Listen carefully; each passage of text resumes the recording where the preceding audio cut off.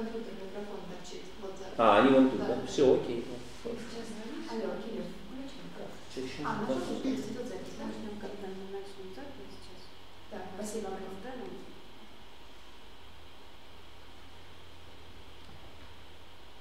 Я поняла. Хорошо, спасибо. Можно начинать. Спасибо. Дорогие друзья, а, мы сегодня собрались на очередную встречу нашего цикла мастер-класс а, проекта Института философии «Философская мастерская». А, в мастер-класс к нам приходят крупные специалисты в области философии и делятся с нами практическими знаниями, в общем-то, секретами своего мастерства. И сегодня у нас в гостях известный философ, крупнейший специалист по классической немецкой философии, по Шеллингу, доцент Института Высшей школы экономики гуманитарного факультета Петр Владиславович Резвых. Спасибо. Спасибо. Спасибо за приглашение. Очень нравится это вообще проект философских мастерских. Мне кажется, очень хорошая идея. Да. Ну и мы когда обсуждали, о чем можно было бы поговорить, я вот предложил такую, может быть, не, не самой собой разумеющуюся тему, да, поскольку здесь действительно можно поговорить о вещах, которые имеют отношение к ну, каким-то ремесленным и прочим наукам. Так, а там что с ним происходит, с картинкой, почему он то включается, то выключается? Наверное. М? Мне кажется, режим. Нет, а, там что-то с, с сигналом HDMI, mm-hmm. с разъемом что-то. То есть, ну, вроде я, или я, или я, я вроде ничего не двигал, все должно быть. Да. Да. Да, ну и вот я, я предложил такую тему, да, говорить о слушателях записи как историко-философском источнике. А, это важная тема, на первый взгляд кажущаяся такой, в общем, ремесленной и маргинальной, на самом деле имеет много всяких разных увлекательных и методологических и содержательных аспектов, которые связаны с э, ну, вопросом о том, как, как вообще, как мы себе представляем, э, как мы себе представляем э, философское наследие наших предшественников, как мы реконструируем то, что, собственно, за этими текстами стоит, да, на какие источники мы опираемся и как меняет э, наше обращение с этими источниками, как оно меняет, собственно, представление о воззрениях и логике э, работы того или иного философа.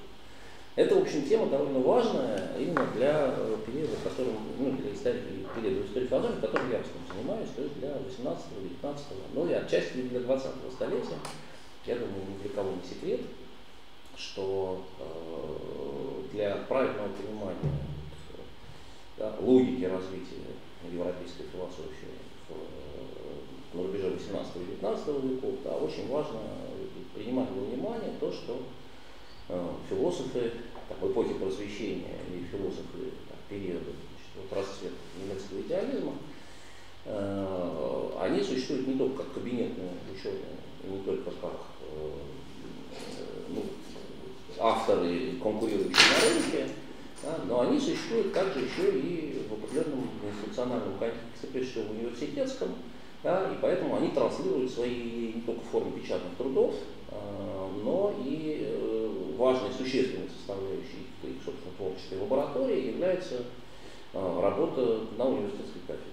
Да, чтение лекций, общение со студентами, и многие из ключевых представителей европейской философии 19 века, они рассматривали эту работу, да, которая прежде всего, конечно, связана с устной коммуникацией, рассматривали ее как э, важную составную часть именно вот, ну, такой интеллектуальной лаборатории э, философа.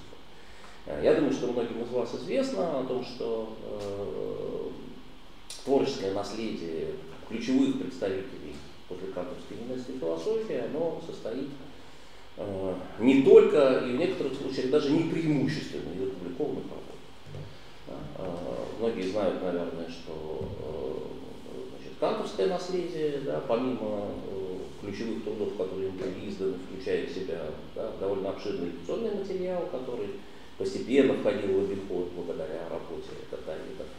А, лекции по э, логике, лекции по философии религии, э, лекции по специальным дисциплинам, которые кажутся в течение долгого времени, антропология, э, лекции по физической географии и тому подобные вещи, да, они постепенно входили в этот ход, и они как бы, важные аспекты открывают канского творчества, которые своего отражения не находят в его таких ключевых канонических классических трудах. А, тенденция это э, к тому, чтобы да, какие-то определенные вещи именно в устной форме да, пробировать, она усиливается как раз очень сильно, очень существенно после кантовской, после кантовской философии.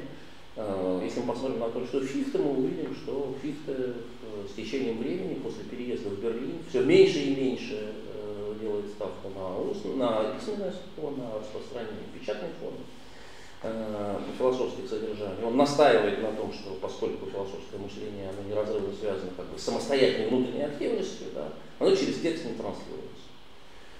Оно транслируется через прямой контакт между учителем и учеником. Ну, Фихте сознательно настаивает на том, что в этом смысле устный, э, медиаустной речи, да, он более пригоден для, э, для работы философа. Ну, апеллирует к Платону, к соответствующей традиции эксплицитно. И как бы, значительная часть фихтовского наследия э, философского, которая отражает его уже как бы зрелые, да, зрелые его философские опыты, это не тексты, которые были написаны, а тексты, которые были произнесены устно и которые для нас сохранились благодаря тому, что э, эти тексты в аудитории записывались и значит, присутствующими были для нас сохранены. Некоторые из этих текстов уже непосредственно после смерти Фихта были опубликованы, Э, в собрании сочинений, которые ему сын издавал, э, да, Эммануэль Герман Фихте, Фихте младший. Э, а некоторые из ключевых таких лекционных текстов, они открыты были только в 20 столетии, но в этом смысле там, предположим, поворотным пунктом было открытие Эриком Фуксом в 80-е годы, если я правильно помню, записи, слушательской записи лекционного курса Фихта, который называется «Наукоучение, изложенное новым методом», так называемый Wissenschaftslehre новым методом, э, текст, который ну, такой э, связующим звеном является между ранними проектами наукоучения Фихта, которые он в печатных трудах излагал, да, и тем, что он излагает в позднейших лекциях, которые уже были благодаря Эммануэлю Герману Фихте были э, введены в ход исследовательства. Э, так что да, вот для Фихта это принципиально важно. То же самое касается гегелевского наследия, тоже многие знают, теперь это уже стало общим местом, что, собственно, аутентичными гегелевскими сочинениями являются, ну, если говорить о крупных философских произведениях, то четыре текста, да, энциклопедия философских, э, фенология духа, энциклопедия философских наук, наука логики, философия права, это авторизованные им печатные версии текстов, вот. А э, значительная часть э, да, текстов, которые составляют, входят да, в то, что мы называем Киевским корпусом, философия истории, эстетика, история философии, философия религии, это в основном материал лекционных курсов, которые были переработаны учениками и после смерти Гегеля были изданы, причем изданы были не все, а изданы было определенное количество отобранная там по определенным, э, ну, по определенным критериям, да, которые тоже сами по себе нуждаются еще там, в разъяснении, в обсуждении. Но, э, и поэтому, конечно, э, да, именно для этого периода э, важно вот, ну, внимание да, особое к этим вот текстам второй. А, но и, соответственно, с автором, которым я лично занимался больше всего, да, с шеллинговским наследием, здесь ситуация совсем особая, да, особенно интригующая, потому что у его литературного наследия была довольно прихотливая судьба. Я много раз об этом рассказывал, но пару слов сейчас об этом еще раз скажу. Да, если я буду говорить что-то, что все уже знают, скажите мне, мы это слыхали уже. Да? Не надо нам да, опять рассказывать. Вот, потому что я не могу, ну, то есть я приношу свои извинения, что я говорю не все абсолютно новое, да, какие-то вещи я в других местах говорю. Да, да. Говорите известно и известно немногим. А уж тем более то, что рассказываете. Ну вот, а, ситуация особенно в этом смысле интригующая, да, а, потому что, а, потому что судьба его творческого наследия сложилась очень драматично. Значит, Шеллинг, как вы знаете, наверное, многие знают об этом, значительную часть своей жизни значит, работал над крупными философскими проектами, которые не были доведены им при жизни до того, той формы, да, в которой он решился бы их добавить, доверить печатному станку. После 1809 года он практически не публиковал никаких крупных сочинений да, и публично практически не выступал, только в 1915 году опубликовал речь о сепаратистских божествах. А, ну и там еще была пара небольших текстов в 30-е годы, да, а никаких крупных программных философских сочинений он не печатал. Значит, да, и более того, до 1920 года он и публично нигде э, как философ не заявлял себя. То есть 11 лет он просто молчал, да, а с 1920 года он начинает активную э, преподавательскую деятельность возобновляет, сначала в Ирландии, а потом в Мюнхене, и потом в Берлине 1941 года. И, собственно, его философская работа на протяжении почти 40 лет последних его жизни, да, она нашла себе воплощение прежде всего и преимущественно именно в лекционных курсах, которые он из года в год читал в э, университетской кафедре. Э, тексты, которые он разрабатывал для этих курсов, предполагались им впоследствии их публикации. Он все время периодически объявлял, что вот скоро будет, скоро будет, скоро будет. Постоянно перерабатывал. Так э, он окончательно, э, окончательную форму этим своим замыслам так и не смог придать, хотя оставил некоторые завещания, которому сын должен был распорядиться его бумагами соответствующим образом. И эм, значительная часть его позднего творчества, она вот воплощена прежде всего именно в лекционном материале. А, разумеется, для этого лекционного материала Шеллинг сам готовил рукописный некоторый базис, вот. Но э, после его смерти, э, когда остался вот, огромный, остался массив, огромный массив э, архивного материала, то э, наследники распорядились им по своему разумению. Распорядились таким образом, что э, значит, э, то, что в, э, как бы, те аутентичные материалы, которые были в распоряжении семьи, да, было решено положить в основу издания собрания сочинений, которое в очень краткие сроки быстро было сыном его, Карла Фридриха Магнусом Шеллингом, было подготовлено и издано значит, в издательстве Потте. 14 томов э, сочинений были поделены на два отдела. Первый отдел 10 томов представлял в хронологическом порядке значит, некие сочинения шеллинговские, от ранних наиболее сочинений 30-х годов, частично изданным при жизни, частично это были тексты, извлеченные из архива и вновь опубликованные по шеллинговским манускриптам. А, а э, последний отдел представлял собой то, что, как предполагал э, сын, должно было стать итогом его творческого развития. Значит, собственно, то, что Шеллинг сам анонсировал под названием «Философия мифологии и философия откровения». Эти четыре последние тома, они должны были как бы позднейшую, зрелую женевскую философию представлять. И в основу его был положен, тоже был положен рукописный материал. Но э, и долгое время, собственно, все, вся интерпретация шеллинговского наследия, она строилась именно на э, апелляции к этим источникам, этим текстам. А, и уже в начале 20 века все исследователи стали замечать, что в этих текстах много странных особенностей и что, в общем, что-то с ними не так. А, там есть повторы непонятные, есть непонятные разрывы в аргументации, есть странности в формулировках, а, и уже в начале 20 века высказывают, ну, да, 20 год 20 века уже стали высказываться мысли о том, что, наверное, все-таки следовало бы пристальнее к этим текстам присмотреться. А, но в, ну, исторически так сложилось, что интерес к Шеллингу возобновился только вот э, в, по-настоящему такой живой, да, в конце 30-х, начале 40-х годов. Обстоятельства не способствовали тому, чтобы интенсивно с его архивным наследием э, работа началась раньше.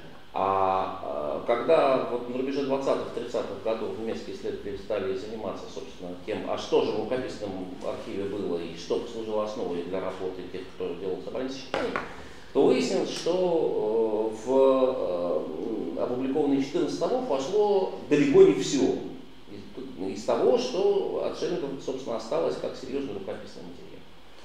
А, более того, когда стало известно о том завещании, которое Шеллинг э, оставил, да, э, оно опубликовано было уже в 50-е годы, то стало ясно, что Шеллинг, например, многие тексты, которые Фриц включил в собрание сочинений, он не собирался хранить.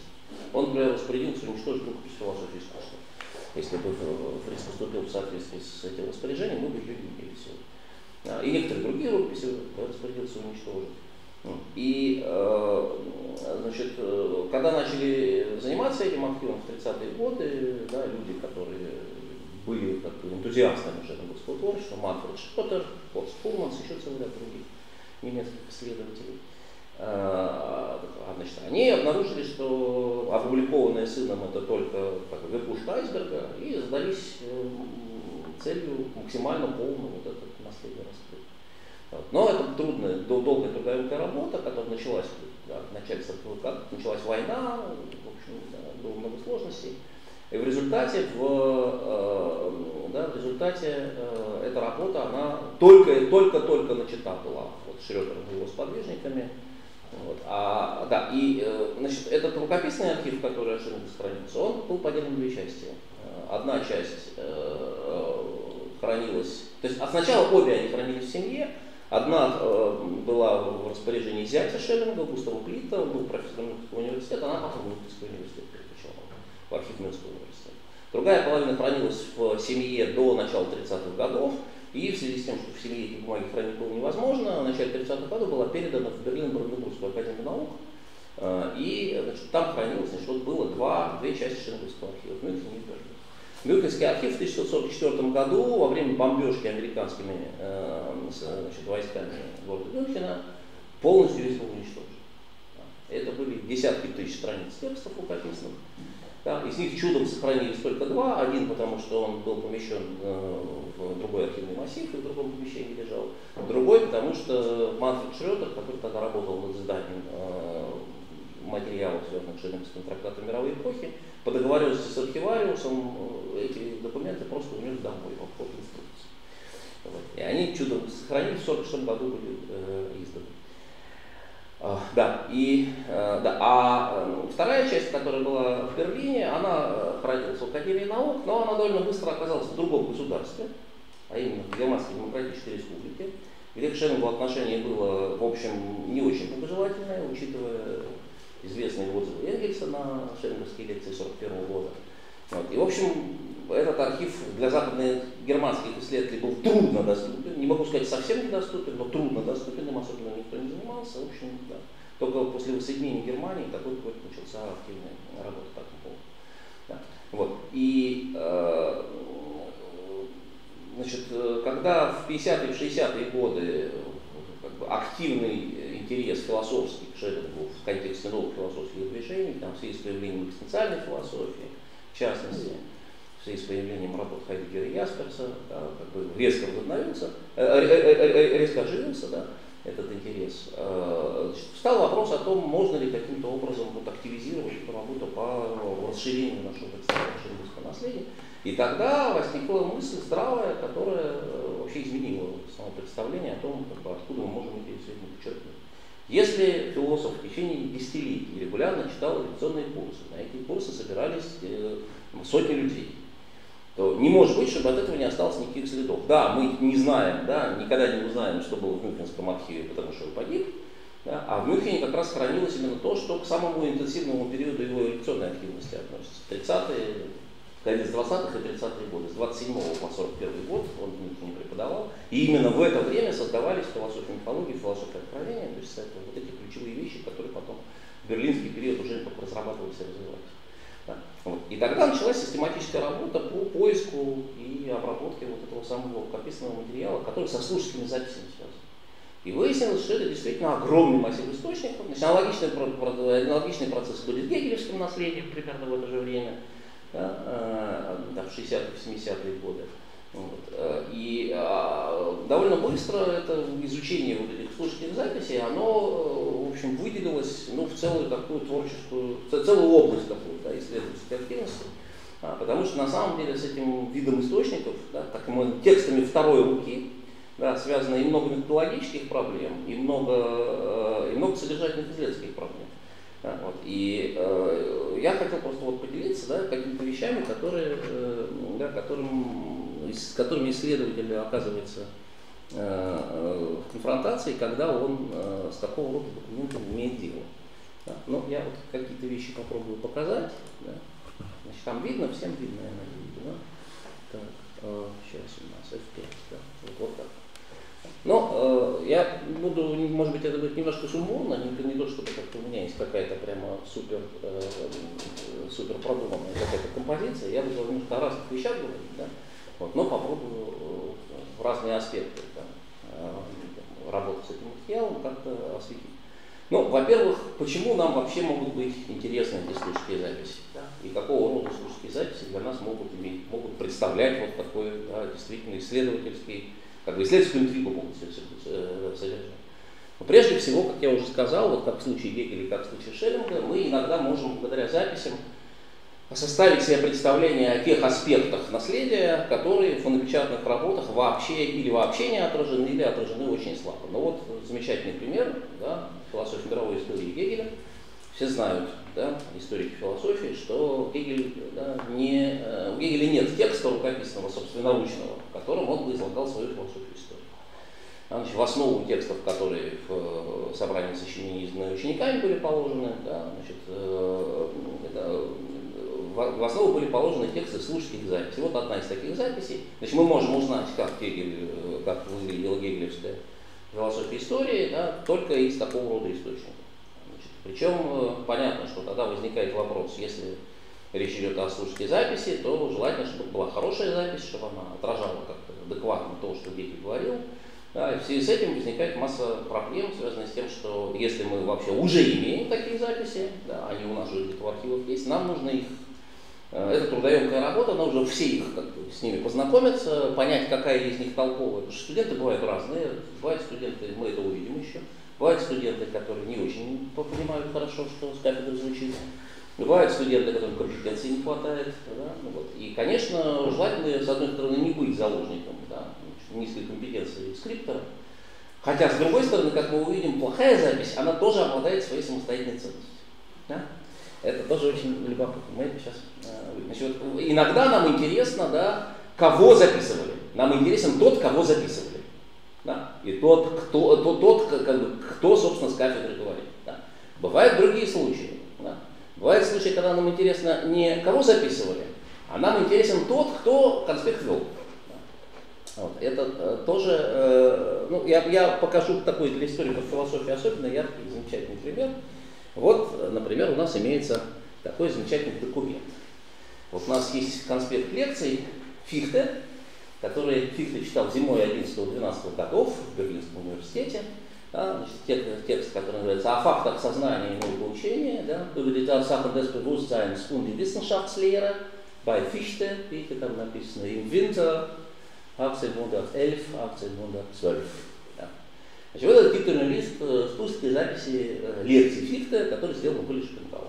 Понятно, что нам очень интересно знать, да, значит, как молодой Шопенгауэр слушал Фихте, что конкретно он слышал, как это, какое влияние это оказало на, там, на генезис формирования его философской системы, э, значит, какую позицию там он да, занимает по отношению к определенным фихтовским тезисам, да, и откуда это можно узнать, да, Шопенгауэр мемуаров не оставил, да, значит, э, мемуаров современников мы тоже особенно не имеем. Вот у нас есть вот такого рода документ. От, от Шопенгауэра Шопенгауэр прекрасно привел в порядок свой, э, свое наследие рукописное, у него там все по полочкам разложено.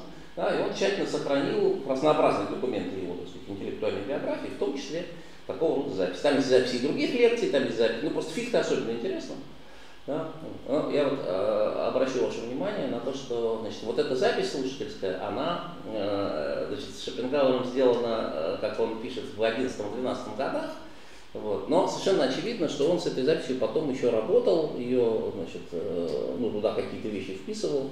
Э, и э, ну, некоторым образом рефлектировал еще это свое прошлое, да, значит, из какой-то более, из перспективы какого-то более зрелого взгляда на вещи. Но здесь э, уже, уже титул интересен, да, значит, вот, э, если вы посмотрите внимательно, э, значит, там вверху значит, заголовок, да, потом написано когда и что, а внизу, видите, там стоит, стоит звездочка, да, и внизу под звездочкой там сделано примечание. Знаете, что там написано? Там написано vielleicht ist die richtige Lesart Wissenschaftslehre с двумя «э». Значит, это каламбур. Значит, понятно, да, что Wissenschaftslehre – учение о науке, значит, да, значит, вот это слово лера учение Шопенгауэр заменяет на паронимически близкое с ним фонетически лера с двумя э, которое означает пустота. Да? Наверное, правильнее было бы, да, правильнее было бы не наука учения, да, вот, читать, а правильнее было бы читать вот наука пустота. Вот, понятно, что это такая гиперкритическая такая реплика. Скорее всего, да, поскольку это титульный лист, который аккуратненько очень выписан, он понятно, что это не во время лекции сделано, а это такой вот результат уже такой ретроспективный, как вот рефлексии по этому поводу.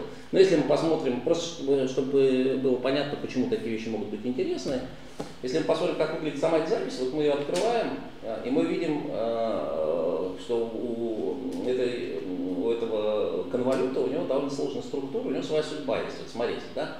Там видно, вверху написано «Über die Tatsachen des Bewusstseins», вверху, да? То есть это, собственно, титульный лист той записи, который, которой мы видели да, заглавный лист. Да? То есть это начало этой записи. Но к нее еще, к ней сверху приклеена, видите, тетрадочка с записью более раннего курса.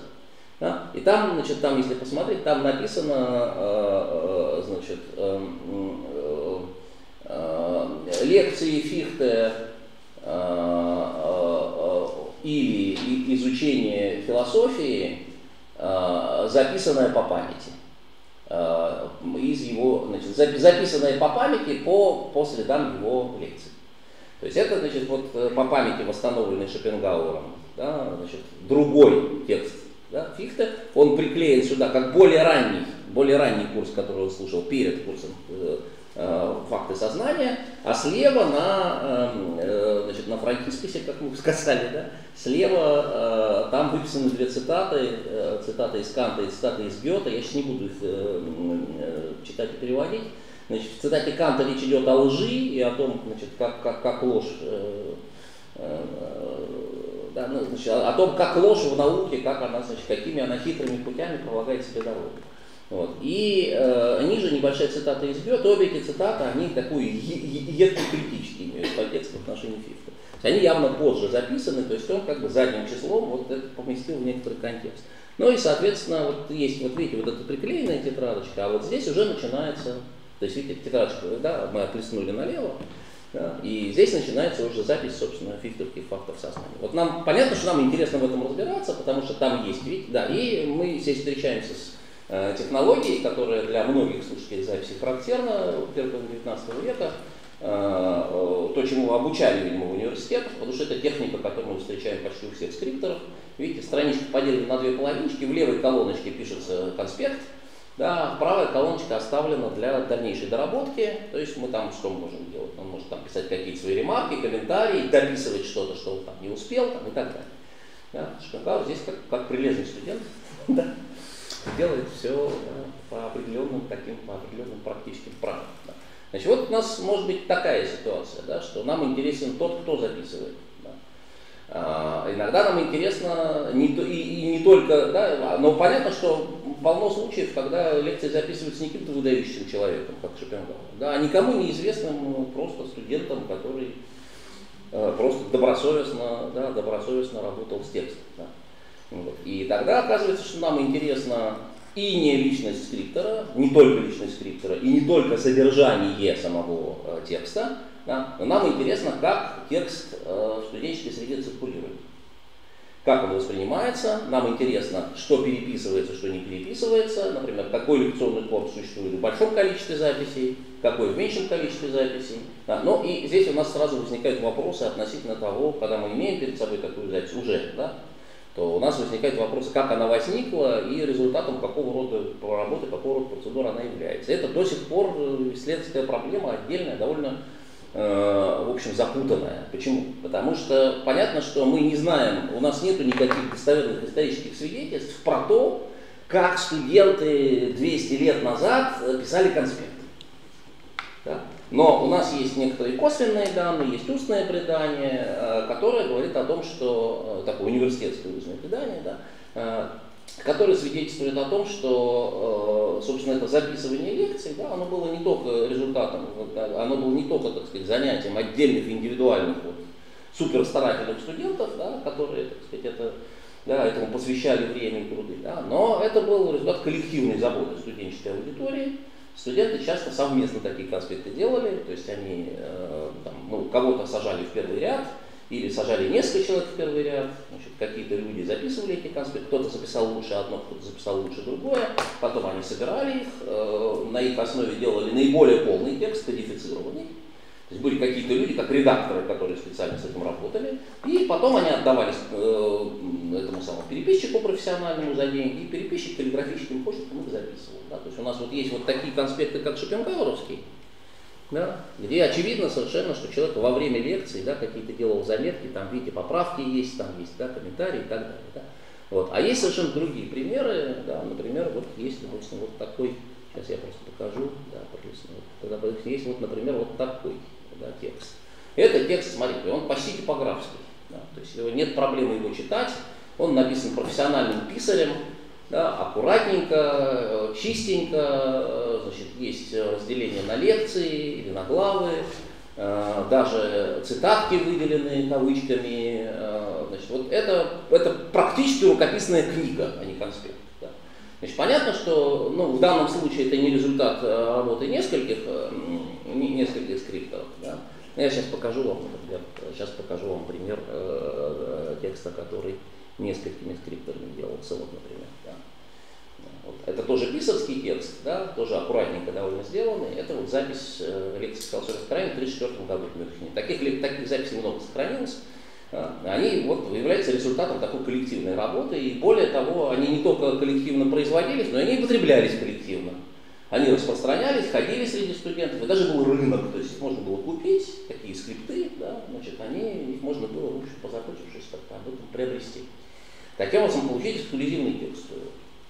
Так что, да, и э, в целом ряде случаев, когда мы имеем дело, уже имеем дело с каким-то текстом такого рода, да, нужно как бы, разобраться с тем, вот как он возник, да, один у него скриптор, много у него скрипторов, э, в каких условиях он делался, для, для кого он изготавливался, кем потреблялся и так далее.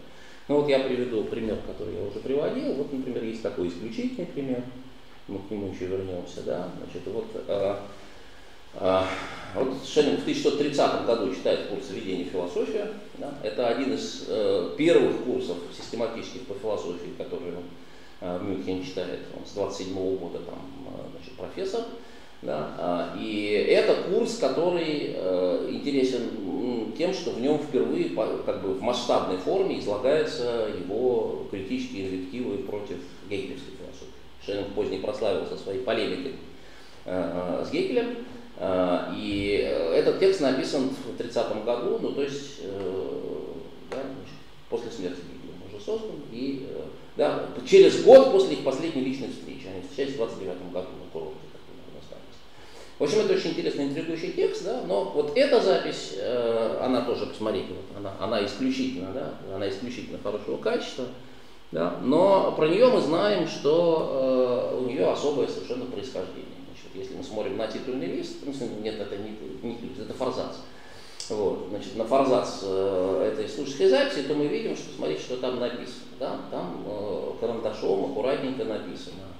Да? Abschrift eines nachgeschriebenen Heftes, das im Besitze des damaligen Kronprinzen Maximilian war. Список, рукописный список, да, значит, записанный по следам лекции тетради, которая находилась во владении тогдашнего кронпринца Максимилиана. То есть этот, э, это значит, копия с текста, который изготовлен был для баварского наследника престола, для баварского кронпринца.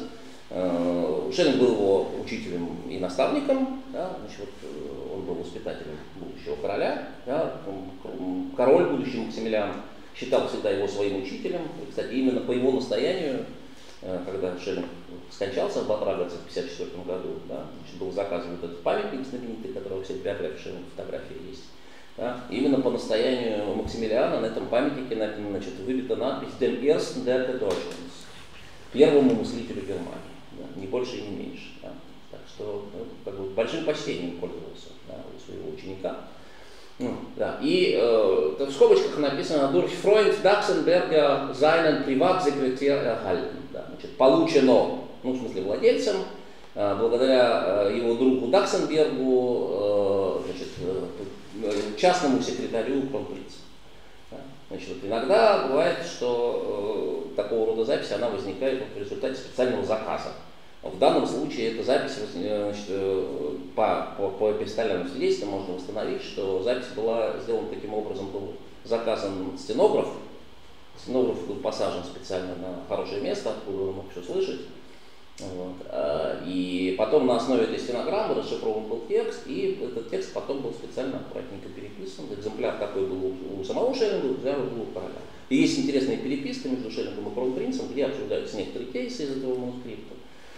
Значит, вот, э, такие вот вещи, да, они для нас важны. Понятно, что эти обстоятельства, как, как, как возникла запись, кто был скриптором, один или много, подвергалась ли она этой субъективной проверке, да? И это как-то влияет на наше суждение о том, насколько запись ликвидная, насколько она достоверна, да? насколько ее качество высоко. Понятно, что если человек сидел в первом ряду и его специально туда посадили, чтобы он для короля сделал экземпляр, э, наверное, он напрягался. Да? Наверное, это был ну, не, не, не пойми какой там слушатель. Да? Хотя и здесь, как мы увидим, да, могут быть проблемы. Ну, значит, поэтому вот оказывается, что э, возникает масса вопросов даже тогда, когда у нас записи есть, да? Значит, в каждом конкретном случае требуется большая скрупулезная работа для того, чтобы извлечь из записи то, что из нее можно извлечь. Прежде всего, да, э, нужно выяснить вот эти все обстоятельства, связанные с происхождением, да, нужно ее просто прочесть, да, а это тоже от качества записи зависит, вы видели, Шопенгауэрскую запись явно труднее прочесть, да, чем, чем вот это. Да. Ну и уже только после того, как это все сделано, да, после этого можно поставить вопрос о том, запись насколько ценная, насколько она да, Э, насколько она эм, качественная, да, и, соответственно, заслужит она публикации или нет. И э, часто, например, оказывается, что запись ценная не потому, что она какая-то замечательная, а потому что, например, мы от этого курса других записей просто не имеем. Да. Ну, я э, покажу такой пример.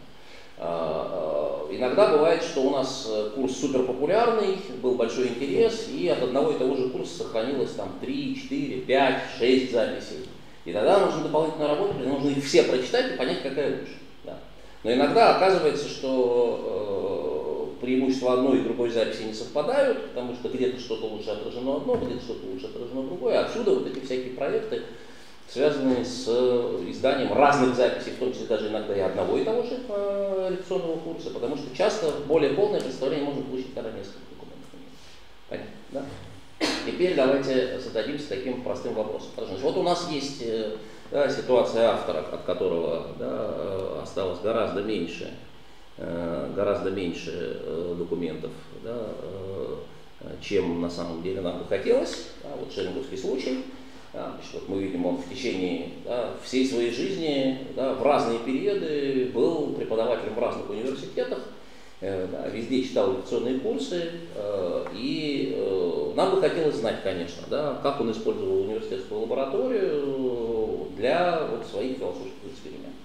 Понятно, что э, лекционный формат – это формат, который позволяет как раз опробировать разные стратегии изложения, разные виды аргументов, посмотреть на реакцию слушателей. Да? Шеллинг особенно настаивал на том, что вот эта работа устная – да, она существенна для его содержательной философской работы. Он, в частности, когда э, попросил э, разрешить ему переезд в Ирландию в 2020 году, и один из главных аргументов, почему он туда хочет переехать, помимо там, здоровья и потребности в хорошем климате, э, было э, значит, довод относительно того, что в Мюнхене нет университета, и он не имеет возможности Э, развивать свою философскую работу вот в этой самой идеологической форме, а он нуждается в этом диалоге, да, как, как мыслитель, для того, чтобы ну, какое-то пространство смысловое получить для, для развития э, своих идей. Вот, поэтому, э, конечно, важно нам бы знать, что он, э, значит, соответственно, возникает вопрос, как нам узнать, да, где и каким образом нам искать такого рода документы? Есть какие-нибудь предложения? Значит, вот каким образом нам да, прийти к тому, чтобы обнаружить такого рода записи. Значит, в случае Шеллинга, начиная с 50-х годов, систематически велась такая работа целым сообществом. Вот, и в результате мы на сегодня имеем ну, там, за сотню точно таких документов, а то может быть и больше. Да, я сейчас не считал, потому что они периодически всплывают все новые и новые. Но есть какие-нибудь предложения? Да? Значит, откуда мы можем почерпнуть информацию о возможном существовании и местонахождении такого рода документов? Дайте объявление в газету. Ну, вопрос в какую газету? Ну, есть какие-то идеи? Антикварный справочник. А? Антикварный справочник. А, окей, да, да, но в антикварном справочнике, чтобы, значит, это хорошая идея, да, э, есть, значит, есть действительно каталоги, да, антикварные, э, куда, значит, иногда попадают документы, которые на продажу выставляются. Да. Бывают такие случаи, что такие документы выставляются на продажу. Хотя, конечно, текст второй руки для покупателя не обладает такой ценностью, как автограф. Значит, мы э, там, вы откроете любой там э, современный аукционный каталог, там каталог автографов, да, вы увидите там, что там, э, не знаю, там, э, полстраницы рукописного текста, написанной рукой Гёльдерлина, там будут стоить там, две половиной тысячи евро. Да, вот. А такого рода текст второй руки, он больше для исследователей интересен, чем для коллекционера. Да? Поэтому некоторая вероятность есть, конечно, да, что вы таким образом там его найдете. Да. Но это, опять же, это как поиск. А если взять университетские архивы, какие-нибудь записи велись, кто был студентом, как его найти? Правильно. Значит, как бы простейшая мысль, да, значит, нам сначала нужно идентифицировать некоторый круг студентов, да, и это можно сделать, с одной стороны, на основе университетских документов, да, а с другой стороны, на основе, какой еще может быть, откуда еще можно взять такую информацию? Потому что если человек имматрикулировался в университет, из этого еще не следует, что он конкретного профессора X слушал. Правильно?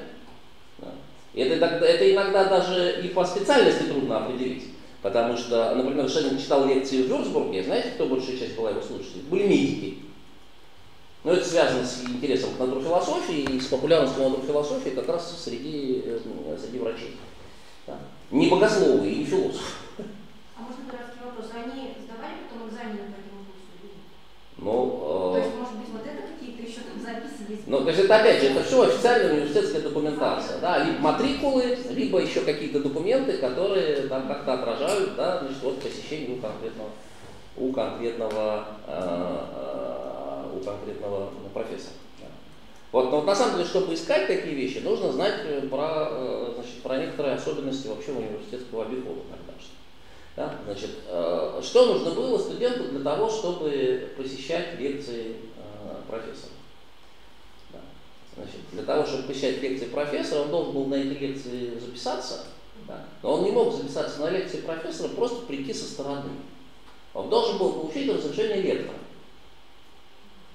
Для того, чтобы получить разрешение лектора, он должен был этого лектора посетить, нанести ему визит. Да? Вот. И э, э, значит, э, лектор мог давать э, специальные значит, билеты, назывались, да? записочку специальную, что значит, он согласен. Да? Это особенно, в особенности это связано с тем, что лекции университетские в начале 19 века в немецких университетах, они были двух форматов, да? так называемый приватен и публицин. Да? Значит, были публичные курсы, курсы, которые читались всем, да? и которые были бесплатными. То есть туда просто можно было прийти, потому что они принадлежали к общему курсу. А были курсы специальные, да? э, участие в которых предполагало выплату студентам каждым гонораром. Они были не очень большие, да, посильные, это были посильные гонорары. Да. Но, соответственно, заработок преподавателя зависел от количества студентов, которые посещают его курс. Да. Соответственно, где деньги, там документы. Где деньги, там отчетность. Да. И, соответственно, да, мы можем вот по такому роду, например, финансовым документам иногда да, такие вещи отследить. А я сейчас покажу пару примеров. Да. Вернее, один пример покажу. Да. Значит, но возможно еще другая ситуация. Да, да более того, значит, э, если мы знаем, да, что человек, предположим, в это время учился, да, э, и знаем, что он, из матрикулы знаем, что он матрикулировался в определенный период, что мы можем? Мы можем думать, э, как бы, был ли он, да, как-то с Шеллинговским, там, предположим, курсом как-то связан. Да. Мы можем пойти и попробовать, например, посмотреть личный фонд, да. Понятно, что если человек у знаменитого философа слушал лекции, от него билет получил, он, скорее всего, его сохранил. Да. Значит, у нас есть тогда железный документ, да, что такой-то и такой-то, значит, то-то и то-то слушает. Да. А, ну, я вот покажу сейчас вам а, такой замечательный примерчик. Да. Вот у нас есть уникальный случай. Э, Шеллинг в 1904-1905-1906 годах читал лекции в Вирусском университете. Это был супермодерный, но новомодный университет просветительский. И помимо всего прочего, значит, одна из задач э, при организации этого университета была реформировать университетскую бюрократию, сделать ее более эффективной э, и значит, как-то унифицировать вот эти все процессы, связанные с организацией значит, сбора матрикуляционных взносов, э, сбора гонораров и так далее. Да, значит, вот, э, э, да, и когда э, Шеллинг поступил на работу в Вирский университет, да, значит, вскоре после этого была введена такая практика, да, что поскольку значит, курсы, да, курсы, которые были обязательными да, которые были общими, которые были бесплатными. Да, это были курсы, которые как бы служили пропуском общие курсы, да, э, условия, служили условием для допуска к, к записи на специальные курсы. То есть, например, в Русском университете на анатомию нельзя было прийти, если ты курс философии не прослушал. Должен был или показать, что ты философию изучал, или должен был принести э, из гимназии, что у тебя в гимназии была философия. Был специальный рескрипт университетского сената. Да? Значит, соответственно, что люди читали реально, реально прослушали курс философии, да, должно быть как-то документировано. Поэтому да, значит, те, кто читал философию, Шеллинга в частности, их обязали что делать? Обязали вести вот такие записные листы. Значит, это были, видите, это был типографский формуляр, да, значит, и лектор этот типографский формуляр, что он делал? Он пускал его по рядам, чтобы народ записывался. И вот вы видите, там, значит, там э, соответствующие есть графы, да, значит, э, имя, фамилия, э, затем э, э, там э, место рождения, э, затем э, значит, специальность, на которую матрикулировался, то есть богослов или медик или кто, да, специальность. И правая последняя графа – это адрес проживания в Вюрцбурге да, чтобы человек можно было узнать, где он там поселился. Да. Вот люди туда, значит, вот записывались. Да. И у нас имеется, например, наш Энгельский курс систем всей философии, и точно так же на курс философии искусства тоже есть такой записной лист, они сохранились в университете Маркина. Вот можем взять и посмотреть, да, кто эти лекции слушает. Да. Вот, ну, это особенно интересный документ. Э, почему, почему это особенно интересный документ? Смотрите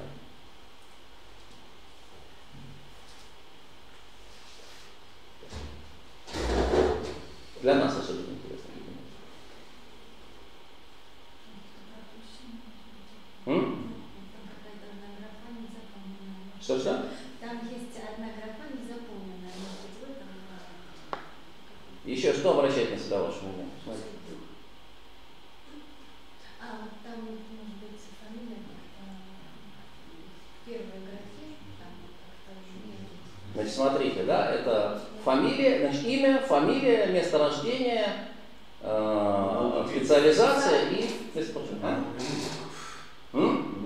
Много медиков, да. галочки. Там действительно много медиков. А еще что-нибудь видите, видите интересное? А фамилия первая столб. Пе- Первое имя, второе фамилия, третье место рождения. А? Вот, ну наконец-то, кто-то заметил, да. Видите, там, э, значит, вторая, третья и четвертая строчка да, в столбике места рождения написано Петербург. Это наши с вами соотечественники. Да? Вот. И да, и во второй строчке вы видите, там написано Даниэль Виланский. И это Даниил Михайлович Виланский, главный пропагандист шеллинговской философии в России, как вы знаете, автор пролюдии к медицине как основательной науки. Да? Вот мы имеем э, значит, документ, который однозначно, однозначно подтверждает, что Виланский слушал да, Э, лекции Шеллинга в Вюрцбурге. Мы знаем, какой курс он слушал. А, значит, и вы видите, что с ним там сидят еще два, два его приятеля. Да? Вот, один это Семен Гаевский, а, тоже медик, он впоследствии медико-хирургическую академию возглавил в Москве. Вот. И э, некий Михаил Крамаров, да, о котором мы особо ничего не знаем, как-то он не оставил следа никакого интеллектуальной истории российской. Вот, да? Но и даже если посмотреть на структуру вот этих листов, то можно примерно вычислить, где они сидели. Да? Если знать, в какой аудитории читалась лекция, да, то понятно, что они пришли. А? себя Понятно, что они пришли и сели, то есть с первых рядов же пускают, да? Вот, по- понятно, что они пришли и сели в середину, на самые хорошие места. Вот. И оттуда, значит, созерцали великого философа. Да. А еще, видите, э, Виланский, видите, он не сразу понял, где имя, где фамилия. Видите, он сначала писал Виланский в графе имя, а потом понял, что нет, это не это здесь должно быть форнам. Да, зачеркнул, туда написал Даниэль, а дальше написал Виланский э, фамилию. Да. Вот, значит, вот мы можем э, теперь, э, да, и, допустим, если бы мы имели там личные фонды Гаевского или Крамарова, мы пошли бы там искать, да, и смотреть, как бы есть там что-нибудь, нет там чего-нибудь и так далее. Да. Там есть еще другие замечательные люди, в частности, если вы посмотрите внизу, да, вот нижняя строчка, там, где не заполнен адрес, да, это Лоренс Окен. Да. Значит, почему он не заполнил адрес? Потому что это не студент. Это профессор который да, уже, это, это уже как бы именитый натурфилософ, уже себя зарекомендовавший к этому времени с опубликованными работами. Да, значит, видите, там написано, вся, там, там все написано, медицина, медицина, теология, там еще что-то, а в графе Лоренца Окина что написано? Медицины доктор. Да, то есть он не студент, у него уже есть степень, поэтому ему не надо указывать свой адрес, да, потому что все и так знают, кто он такой. Да, вот. А, Вот такого рода вещи мы видим. Да? Вот. Значит, вот можем вот так, на, на- на такие документы опираться. Да. Но, кстати говоря, обращу внимание ваше на то, что если мы посмотрим, так, сейчас тут мелковато, не очень видно, но вот если вы посмотрите, это вот первая страница, значит, если вот раз, два, три, четыре, пятая строчка, пятая строчка, да, а, там э, написано Петер Паульс, видите? Значит, вот мы знаем, что Петр Паульс да, значит, э, был в числе этих самых слушателей? И если мы э, бы, да, усердно будем бы, за этими следами, как, по этим следам двигаться, мы довольно быстро обнаружим, что э, э, сохранилась, например, вот такая слушательская запись. Лекция об организме идеальной философии. Это, собственно, вторая часть курса «Система всей философии». 1804 год. Да, и записано, да, записано значит, э, Вюрцбург, да, э, летний семестр 1904 года, и видите, внизу слева э, э, владельческая пометка Йод П. Паульс. Это Иоганн Петер Паульс, тот самый Паульс, которого мы с вами видели в записном листе. Да. Значит, вот можно по такого рода свидетельствам, да, пойдя по следам, обнаружить вот такого рода записи. да. Какие еще могут быть? Ну, понятно, что аналогичным образом мы можем искать данные, так скажем, мемуарных свидетельств. Мы, например, открываем, хотим узнать про ирландский курс 2020 года, который Шеллинг читал э, значит, ирландским студентам, а, открываем э, мемуары э, Генриха Шуберта, который в Ирландии преподавал в это время, э, покровительствовал студентам и с Шеллингом находился, в общем, в дружеских отношениях. Да, и в его мемуарах мы находим целый список студентов, которые составляли ближний круг Шеллинговский, которые регулярно посещали его лекции, бывали у него дома, находились все время с ним в диалоге. Мы можем взять этот список и по этому списку пройти и значит, посмотреть. Да. Теперь давайте посмотрим на, на как иногда бывает, что мы можем такого рода свидетельства получить э, иным путем. Но это вот документы, которые не я нашел, значит, вот, э, записные листы, о которых э, я говорил, эти листы вот мною вместе с нашими коллегами были найдены в 2005 году в Вюрзбургском университетском архиве. Они там лежали, и никто не знал, что они там есть. Да? Очень интересно, почему э, э, это любопытно, э, потому что незадолго до этого, незадолго до того, как мы их нашли, замечательная немецкая славистка, господи, э, что-то я уже фамилия меня вылетела, я потом назову фамилию славистки. Да. Значит, она опубликовала большую монографию, посвященную творчеству Виланского. Основной задачей этой монографии было установить, а что же, собственно, Виланский рецепировал в немецкой философии, как и в каких формах. Она провела титаническую герменевтическую работу по сличению текстов Виланского и формулировок в, в русских текстах Виланского, в том числе про аллюзии к медицине как основательной науки, да, с целью выяснить, содержится ли в них терминологическая преемственность по отношению к вырусским текстам э, Шеллинговским лекционным, которые опубликованы э, как бы, э, из наследия были, то есть у нас есть один текст русского курса, который сыном был опубликован по Шеллинговскому манускрипту. Сам манускрипт не сохранился, но текст опубликован есть. Да. И она пришла к выводу, что он слушал систему всей философии в 1904-1905 году. Но это было сделано исключительно на основе геометрических вот таких аргументов. Да.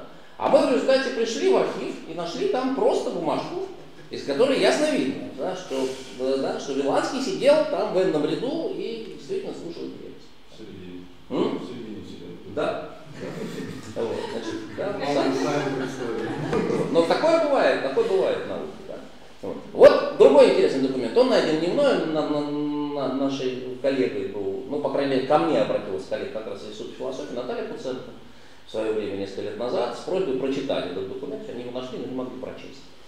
Вот. Э, И это чудесный документ, э, потому что это рекомендательное письмо, которое Шеллинг по просьбе дает своему бывшему слушателю. Это тоже была распространенная практика. Человек устраивается куда-то или хочет какие-то, значит, получить какие-то бонусы, да, и он собирает рекомендательные письма от тех людей, которые его, так сказать, знают да, в, да, тех или иных обстоятельствах. Да.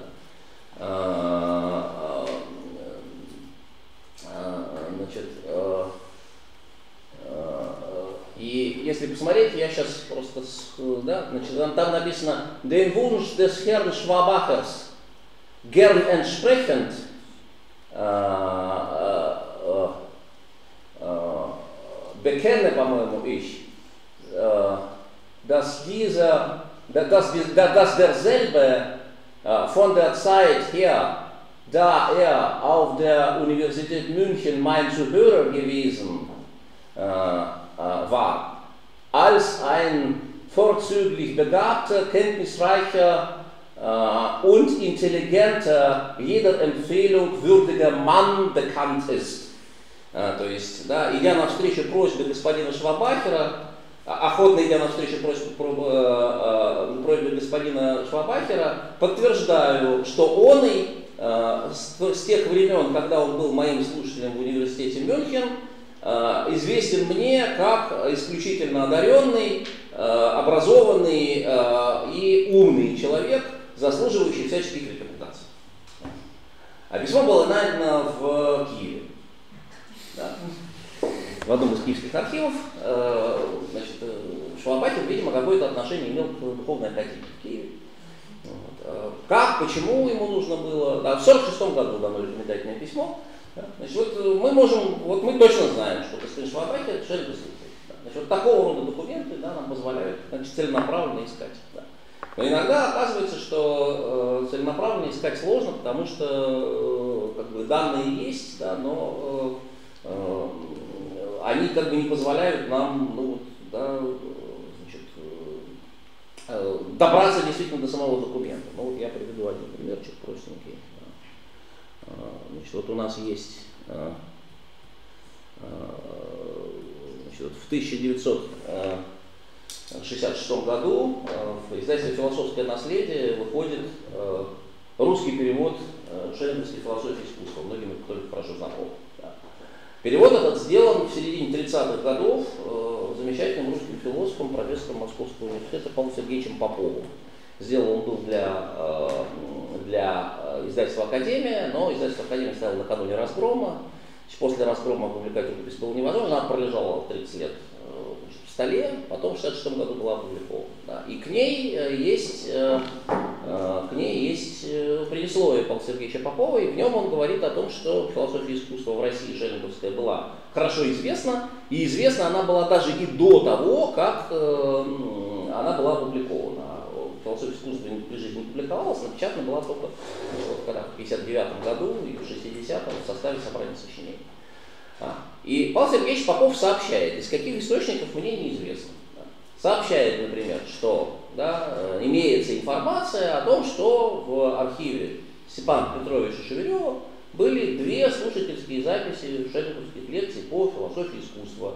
И он даже называет, каких годов эти записи. Одна из них 98-99 года, 1699, а другая 1602. И первая из них принадлежит скриптору, которого ну, значит, называет Попов А. Вагнер, а, а другая принадлежит другому скриптору, которого э, Попов называет доктор Расман. А, э, нам бы очень интересно было бы знать, что это за записи, да, и каким образом они к Шевыреву попали. Да, мы, к сожалению, не знаем э, об этом ни- ничего. да. Но мы знаем, что такие записи существовали, и когда мы начинаем заинтересовываться, ну, интересуемся тем, а что, собственно, да, что можно про них узнать, мы, например, с удивлением обнаруживаем, что э, первая запись, да, если бы она могла быть найдена, да, она представляла бы собой вообще, в общем, сенсационную находку. а, потому что речь идет о лекционном курсе философии искусства, который Шеллинг читал в 1800, в 1798-99 годах. Это значит, когда он еще в Йене был. Это самая ранняя версия философии искусства, э, от которой мы практически ничего не имеем, кроме конспектов, сделанных по поручению одного английского аристократа, Фреда Робинсона, и это очень такие отрывочные записи. Да? И запись это сделана э, значит, неким А. Вагнером. Значит, если мы сядем, посмотрим и э, там прошерстим матрикулы Ельского университета, то мы довольно быстро узнаем, что это за Вагнер. Это вот этот человек, Готлоб Геррих Адольф Вагнер, да, известный довольно литератор, впоследствии известный литератор, публицист, автор э, целого ряда сочинений, там, ну, в том числе по эстетике, э, да, значит, сочинения о древней литературе, э, сочинения о новой литературе. В общем, довольно интересный человек, э, на которого явно некоторые шеллинговские идеи оказали влияние просто как на автора. Но интересен еще тем, что это родной дядя хорошо нам известного Рихарда Вагнера. Так что вот оказывается, что между Шеллингом и Рихардом Вагнером напрямую есть вот такой вот передаточный звено. Да. А, да. И запись, э, сделанная им, она вот каким-то образом в России оказалась, да, Шевелев ею пользовался. И даже, видимо, в начале 20 века она, может быть, где-то еще была. Ну вот если бы ее можно было бы найти, это был бы, был бы неприходящий вклад исследователя в Шеллингера. Значит, вот такого рода у нас бывают вещи. Да. А, да, понятно, что иногда можно просто э, значит, получить сведения о том, э, что, собственно, где, где нам эти записи искать, да, из данных там, о контактах, из эпистолярных данных, ну, самые известные, э, самые известные, например, примеры, допустим, вот, там, предположим, Михаил Юрьевич Вильборский, да, значит, известный музыкант, музыкальный деятель, композитор, э, да, э, значит, важная фигура в, в московской жизни да, первого XIX века. Э, Вильгорский довольно, да, довольно длительное время провел за границей, да, и, значит, допустим, в Шеллинговском архиве мы находим, мы находим значит, письмо да, от Вильгорского. Причем это письмо, оно представляет собой э, рекомендательное письмо для князя Владимира Федоровича Адоевского. И вот мы знаем, что Вильгорский с Шеллингом э, общался непосредственно, да, причем общался в Мюнхене именно в то время, когда, собственно, лекции читались. Э, и, наверное, ну, можно предполагать, да, что, наверное, он как-то да, пользовался возможностью да, на лекции, там, предположим, заглянуть. А, и э, если мы приходим в рукописный архив Илигорского, с удивлением обнаруживаем, что да, там хранится не им самим сделанная, но им явно в Германии приобретенная вот так, так, такая та самая писарская копия да, кодифицированного курса, э, кодифицированной записи курса вот, по философии мифологии. Да, вот такие вещи можно найти действительно, и да, они дают нам некий новый материал для, э, для, для исследования. Да. Ну, давайте оставим эти такие детективные истории, посмотрим на то, а что же мы из такого рода записи можем узнать. Да? Значит, э, э, что нам дает возможность, что, что нам дает э, такая запись, в отличие от, значит, в отличие от такого обычного рукописного текста. Ну вот я начну с очень простых, но таких забавных примеров. А, а, значит, вот у нас есть, э, значит, во-первых, что мы можем узнать? Во-первых, мы можем узнать из такой записи какие-то совершенно ну, вот, обиходные внешние вещи. Допустим, мы можем понять, э, как э, лекционная вот эта вот активность автора была устроена. Ну, допустим, вот в этой записи и в некоторых других значит, есть разделение на лекции, то есть мы имеем не сплошной текст, а мы знаем, да, какой, какой объем, так сказать, каких, какой информации в какой лекции, э, в какой лекции содержался. Да. Ну и вот, например, вот эта занятная страница, это конец 11 лекции, да, а, и э, в конце 11 лекции написано «Ich werde übermorgen fortfahren». Я продолжу послезавтра. Мы, например, знаем, можем установить, да, с какой периодичностью Шеллинг лекции читал. Да? Отсюда, например, можно, ну, по некоторым записям можно заключить, что он многие свои курсы читал аккордно, то есть он вычитывал, предположим, там, по 4 пары в день, да, и э, читал там семестровый курс там, за 2-2,5 недели. Да? Ну, вот, Соответственно, понятно, что да, большая нагрузка на слушателей, да, но и понятно отсюда и некоторые реакции слушателей. Значит, можем такие вещи вот узнать, чисто, казалось, бытовые, легко. Да. А Да. можно вопрос. Если Шеллинг управлялся за, за пару недель, Ну, да. то получается, то как сдавать тогда экзамен? То есть сразу после того, как они окончили? А, Дело в том, что там вообще э, э, система, как бы, э, э, да, система была э, другая. да. Э, Но я об этом хотел тоже сказать пару слов. Да. Дело в том, что э, вот эти лекционные курсы, да, по ним экзамены в нашем понимании этого слова, они не сдавались. Потому что предполагалось, что они как бы рассчитаны не на, ну, не на 20 раз отжаться, да, вот, а, а что, что они э, как бы создают базу некоторую да, для как бы, дальнейшего роста уже в контексте, в контексте ну, как бы специальных, специальных занятий. Да. Понятно, что курсы по философии, да, это курсы, которые фундамент очень мировоззренческий создают. Да. Поэтому важно было, чтобы они были пройдены, соответственно, да, значит, э, в том, что студент как бы вник в содержание курса, об этом может судить, э, судить профессор. Но в, э, и в случае Шеллинга, и в случае Гегеля, и в целом ряде других случаев лекции обычно сопровождались еще другой, другой формой занятий. Да, и это так называемый конверсаториум или реперториум. Да. То есть, э, да, тут все нужно понимать, каким образом сам лекционный процесс был устроен. Да. Лекции выглядели совсем не так, как мы сейчас себе это представляем. Потому что, хотя это были устные, да, хотя это было устное высказывание, да, но понятно, что никто на этих лекциях особо не импровизировал. Да. Немецкие профессоры сегодня приходят с рукописью на лекцию. Да. Это как бы устойчивая традиция. То есть он приходит со сделанным текстом, а не просто говорит там что-то из головы. Да. Ну, по этому поводу существует много всяких анекдотов. Да. Это еще и в 20 веке. Да, про Когена, про Гаденера, много всяких можно сказать, таких историй. Ну вот. э, И э, сам темп лекционный, он был не такой вот, как я сейчас говорю. Да. То есть это был очень медленный темп, то есть в некоторых случаях это была просто почти диктовка, то есть за лектором в принципе можно было успевать. Да, вот. И э, текст, который на этой лекции предлагался, иногда это был вот просто очень плотный текст. Ну, в некоторых случаях, например, это просто текст прям вот компендиума, который вот как, как в энциклопедии философских наук Гегелевской. На параграфы разделен, там строгие формулировки, есть, значит, определенные, да, четкая логика последовательности, сжатый очень материал. Для того, чтобы его каким-то образом разъяснить, да, значит, предоставлялось специальное время. Был час специальный, когда лектор у себя мог принимать этих студентов. Они могли приходить, с ним обсуждать, или с ним, или с преподавателями вспомогательными, которые на основе этого скрипта могли давать разъяснения, там какие-то комментировать какие-то вещи и так далее. Да, вот, э, отсюда, например, вот вы знаете, да, что если в философских наук или кто-нибудь открывал, там есть параграфы, и там есть прибавление, примечания и прибавления. Так вот, значительная часть примечаний и прибавлений это как раз вещи, которые возникли благодаря вот этим самым репертуариям. Да? То есть это устные разъяснения, которые к определенным вещам даны, они записаны, и потом учениками вдвинуты в этот текст в качестве комментария. Да?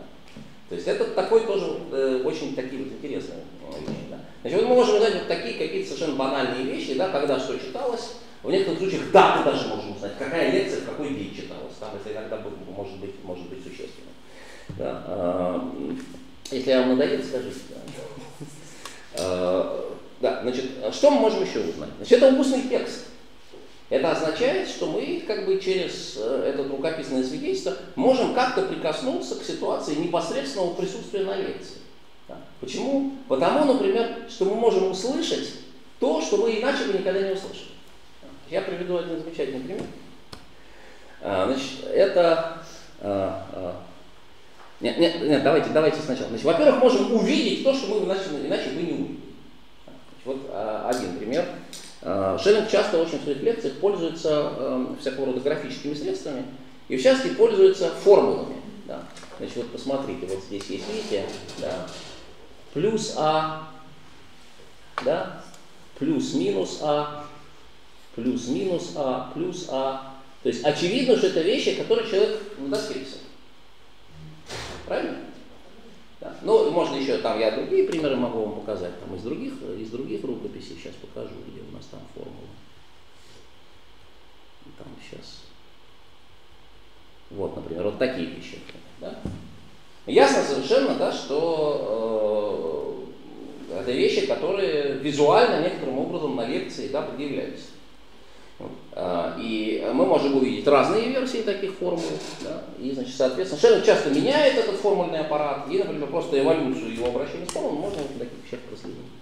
Это вот одна вещь, которую мы можем из такого текста почерпнуть. Иногда оказывается, что мы из такого текста можем почерпнуть информацию да, о чем-то, что э, отражает некоторые особенности говорящего. Вот это чудесный пример. Просто я очень люблю, вы случайно его набрели. А, а, значит, это отрывок из введения в философию, и здесь есть э, значит, небольшое предложение э, о э, значит, некой клятве пифагорейцев, которую, как говорит Шеллинг, значит, значит, рассказывают о пифагорейской клятве, которую значит, без достаточных к тому оснований обычно оспаривают, считая ее, а, значит, считая ее апокрифом. Да? Вот. И смотрите, здесь написано «Man erzählt von einem Schwure der Pythagoreer, den man aus unzulänglichen Gründen als apogryphisch angefochten hat». Да, значит, он написал апогрифический. Да? То есть, во-первых, я, что студент слова не знал, да? но он написал, как услышал. И это был не, непонятно кто, а это был тот самый, э, тот самый стенограф, которого посадили на почетное место. Да? То есть думать, что он расслышал, не расслышал, потому что он где-то там на галерке сидел, да? нет никаких оснований. Да? О чем это говорит? Да? Он неплохо услышал, если он со слуха это. Ну да, он со слуха это записал, да. Но это о чем говорит? Это говорит о том, что, да, что это отражает фонетические особенности да, того, э, что мы да, апокрифиш. Значит, значит, Г так Шеллинг произносил, что это как, как, как он произносил, что можно было это как Г услышать. Да. Вот. Но есть другой замечательный пример, э, еще более, еще более э, красноречивый. Значит, это небольшой пассаж, посвященный толкованию э, значит, э, стихов о премудрости Божией из, значит, соответственно, да, из Ветхого Завета, ну вот где речь идет о премудрости, которая играла перед Творцом до творения, которая была приготовителем его путей и так далее, все, что с этой темой Софии связано. А, да, и а, значит, Шеллинг здесь пишет, да, а, значит, он говорит о том, что премудрость предстает как некоторый приус, да, то есть она то, что предшествует творению. Да. И смотрите, здесь написано, Die Weisheit ist also als das Prius gesetzt, dieselbe, в смысле Weisheit, beschreibt sich auch sogleich als Zeugung der Schöpfung. Значит, премудрость, стало быть, полагается как приус, да, значит, премудрость сама описывает, тут же описывает себя, и у, у скриптора написано как порождение творения, der Schöpfung. Когда мы, э, мы читали с коллегами этот текст несколько лет назад, э, он издан уже, и в изданном тексте стоит это слово «Zeugung». И мы как-то задались вопросом, почему здесь стоит это слово? Оно здесь совершенно не на месте, потому что премудрость предшествует творению, и она не может быть порождением творения. Это как-то вообще все не вяжется. Значит, когда мы задались этим вопросом, то э, значит, у нас возникло разумное предположение, что, наверное, Шеллинг не единственный раз, наверное, да, это место о премудрости интерпретирует только в этом одном отдельно взятом тексте. Наверное, есть другие тексты, где он об этом говорит, но я просто знаю о том, что это один из любимых его текстов библейских, он в разных местах его по-разному толкует. И тогда мы стали искать, есть ли какое-нибудь параллельное место. И мы его нашли, это параллельное место, а именно в опубликованной версии лекции по философии откровения, да, э, смотрите, и э, что мы здесь читаем? Э, да. Сейчас я найду просто. Да, вот, смотрите, да. Он дает парафраз, да, дает парафраз вот этих слов премудрости о себе, да, когда он устраивал небеса, я была при этом, да, когда он полагал, э, да, когда он как бы, э, очерчивал круг на море, да, и когда полагал основание земли, да, да, значит, я была там, я была там, а дальше смотрите, он пишет, sein Kind oder Zögling bei ihm und spielte vor ihm immerwährend. Вот это слово Zögling, оно означает питомец, питомец, дитя, воспитанник. Да. Ну и э, это как бы интерпретирующий перевод древнееврейского слова, которое там стоит, которое действительно так можно проинтерпретировать.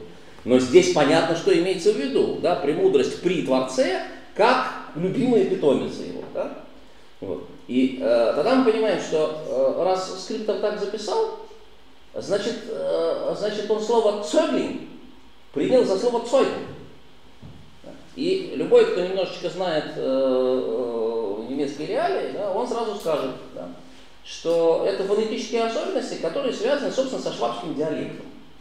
То есть это диалектное произношение, которое э, в скриптор просто зафиксировано. Это не единственный случай. Вернер Байервальдес когда мне рассказывал, вот я не имею возможности теперь уточнить, о каких именно текстах идет речь, но он рассказывал, что среди тех текстов, которые в Гегель-архиве обрабатываются э, как слушские записи гегелевских лекций, да, они тоже содержат такого рода вот слуховые ошибки, которые явно свидетельствуют о швабском выговоре, о швабском произношении, которое для Гегеля было характерно. А и Шеллинг, и Гегель, они сохраняли швабский акцент в напряжении всей жизни и, в общем, не могли от него избавиться. Шеллинг немножечко этого стеснялся даже. Вот. Но вот, вот мы можем услышать этот самый, да, этот самый, эту самую речь да, с, с ее диалектными особенностями. Мы можем увидеть то, что не, иначе мы не увидели, можем услышать то, что мы иначе бы не услышали. Да. Но, разумеется, это еще не все. Да. Разумеется, нам это не только такие, как факультативные вещи, но и вполне содержательные вещи. Ну вот я, допустим, приведу парочку примеров. Еще об этих лекциях я говорю. Вот э, лекция об организме идеальной философии в записи Паульса дают нам возможность э, да, значит, посмотреть на то, что Шеллинг в Вюрцбурге предлагал своим слушателям, да, э, и сопоставить это с тем лекционным курсом, который, как рукописный, э, опубликован был сыном. Да. Что это нам дает? Часто это нам дает существенные дополнения к содержанию того, что опубликовано, потому что когда э, лектор пишет, э, когда лектор пишет э, тексты для своих лекций, да, он на письме фиксирует только что, только то, что структурно принципиально важно, то, что главное. Да? Вот. И то, что ему важно не забыть. А то, что он и так вспомнит, или то, что и так у него все время под рукой, да, он это специально в, в скрипте специально не фиксирует. Да? Потому что он в нужный момент это и так скажет. И узнать об этом, о том, что он как бы собирался сказать, но не записал, да, мы часто об этом можем узнать именно благодаря тому, что слушатель это записал. Ну вот я приведу один э, замечательный примерчик. Да, значит, тогда же в Вурцбурге э, Шеллинг читает э, лекции по философии искусства. Да, значит, текст лекции по философии искусства из рукописного наследия Фрицем был издан в пятом томе собрания сочинений.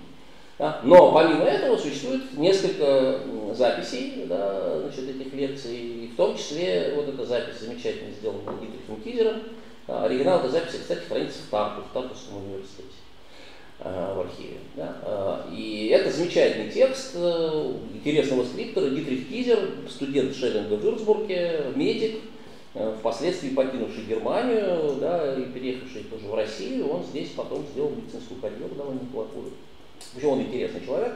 Вот, но, э, э, и, значит, вот мы имеем в записи Дитриха Кизера курс философии искусства. Вот здесь он называется эстетика. Да.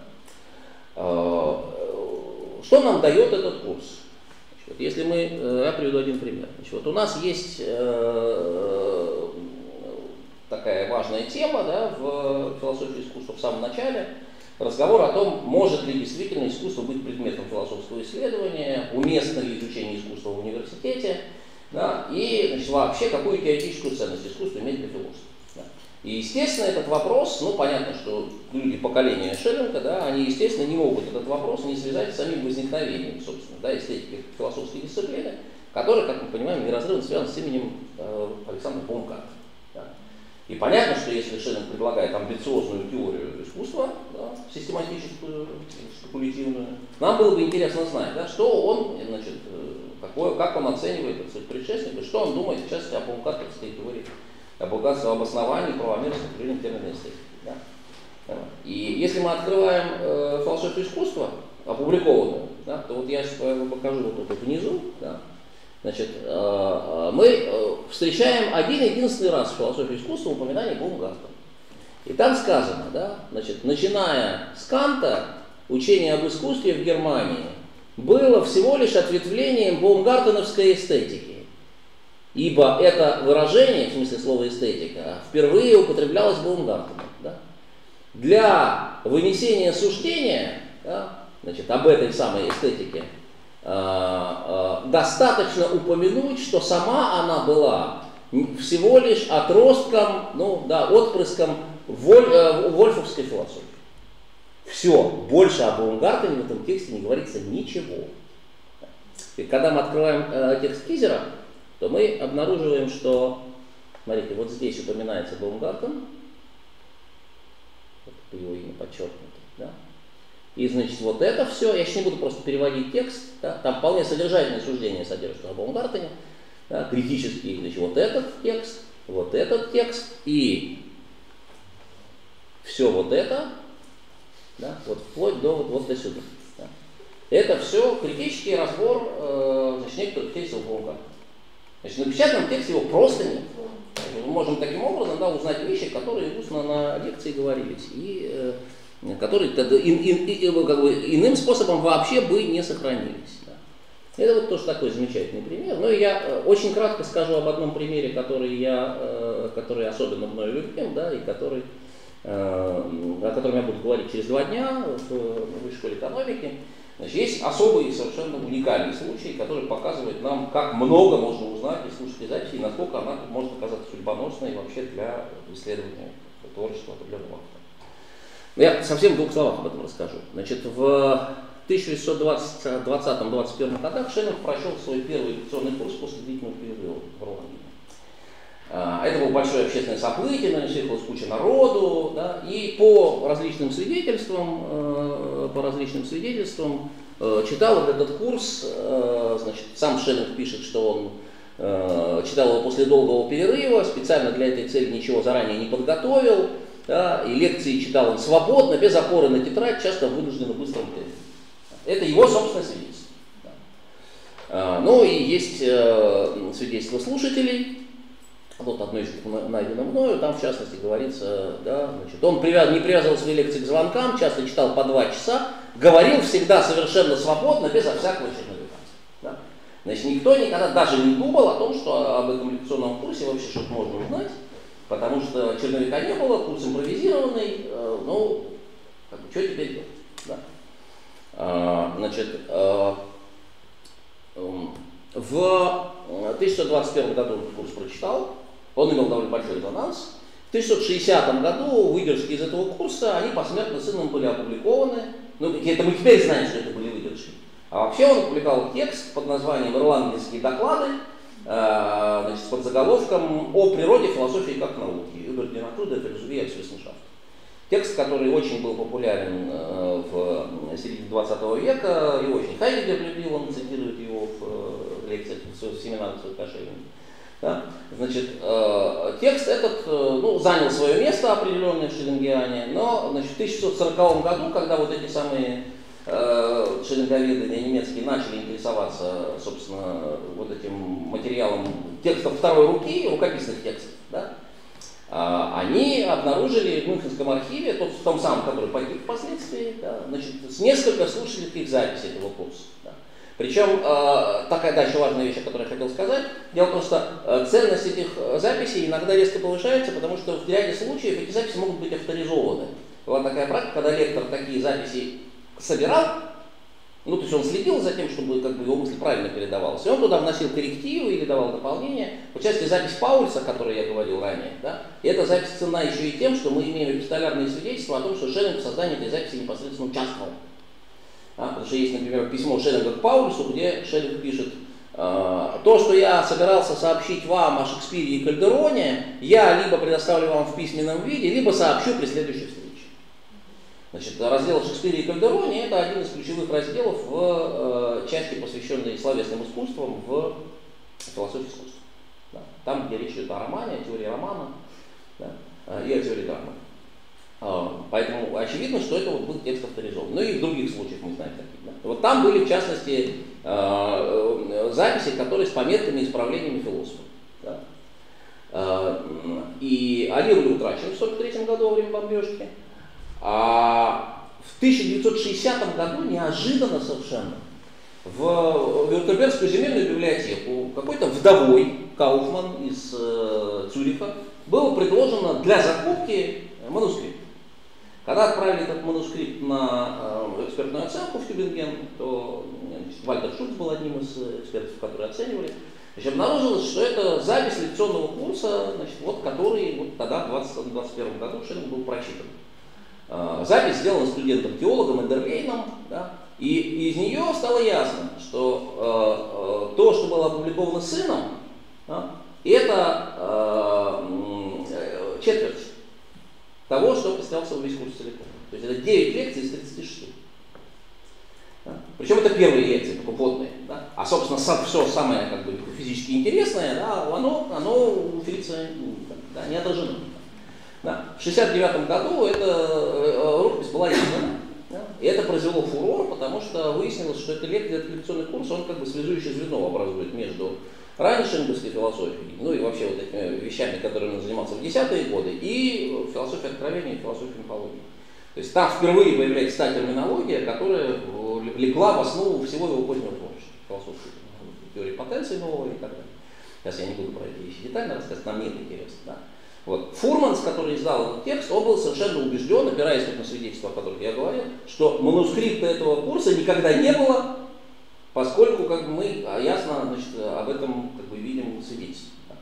Поэтому было совершенно неожиданным открытием, когда в 2022 году в Берлинском архиве обнаружили манускрипт, который при ближайшем э, рассмотрении оказался оригинальным шеллинговским манускриптом к этим лекциям.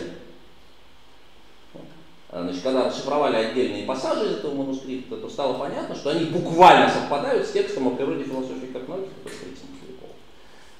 А в 2005 году была найдена вторая слушательская запись, да, сделанная неизвестным слушателем, ошибочно датированной 19 годом.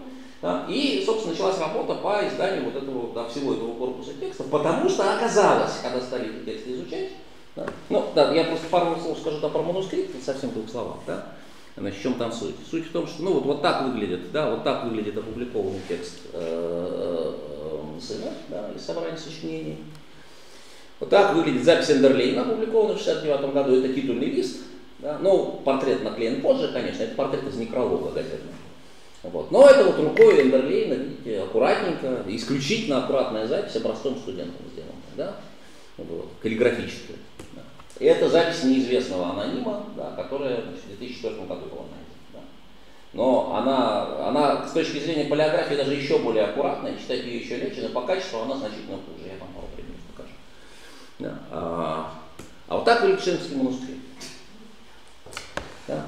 Значит, а, а, ну, у него много всяких особенностей, ужасный почерк, да, маленький формат. Да, значит, если посмотрите на формат, 17,5 на 11 сантиметров. Да. То есть это мелким-мелким, мелким-мелким почерком написано, да. Вот, значит, вот да, да, да, да, да, да. да. Вот такая вот структура. Да? Понятно, почему оно мелким почерком написано. Да? Значит, это вот стопка листочков вот такого вот формата. Да? А, и написаны они были таким мелким шрифтом, понятно почему. Да? И эти бумажки лежали на кафедре. Да? Но со стороны это выглядело как импровизированная речь. То есть это было целенаправленное, инсценированное, значит, инсценированное, целенаправленное вот такое вот спонтанное вдохновение, которое было очень хорошо подготовлено. Это хорошо были продуманные вещи, там как бы продуманный четко текст. Я сейчас про этот манускрипт не буду говорить, это отдельная интересная история. Да? Вот. Но э, дело в чем? Дело в том, что э, помимо того, что вот у него такая сложная структура, и у него там порядок страниц нарушен, и там есть и полные тексты лекции, а есть э, значит, отдельные наброски, там много корректур и так далее. Вот. Но самое главное, если вы посмотрите вот внимательно на если вы посмотрите внимательно на, сейчас я пример какой-нибудь покажу, да, ну вот здесь хорошо видно. Если вы посмотрите внимательно на этот текст, вы увидите, что э, там э, э, значит, в целом ряде случаев просто есть, ну, там масса сокращений. Да? То есть каждое, второе, каждое третье, четвертое слово написано с точкой. Да? У была своя собственная система сокращений, да, и поэтому просто прочитать этот манускрипт да, было бы невозможно, если бы у нас не было вот этих вот аккуратненьких записей, по которым можно было да, значит, восстановить, что же, собственно, есть внутри. Да. Более того, иногда, например, это нужно было, иногда этот, этот текст, он, э, э, иногда этот текст э, слушательской записи, он давал возможность просто понять, да, что за сокращением скрывается. Ну вот я вот здесь пример приведу, вот здесь стоит. Да, вот здесь стоит d.dev.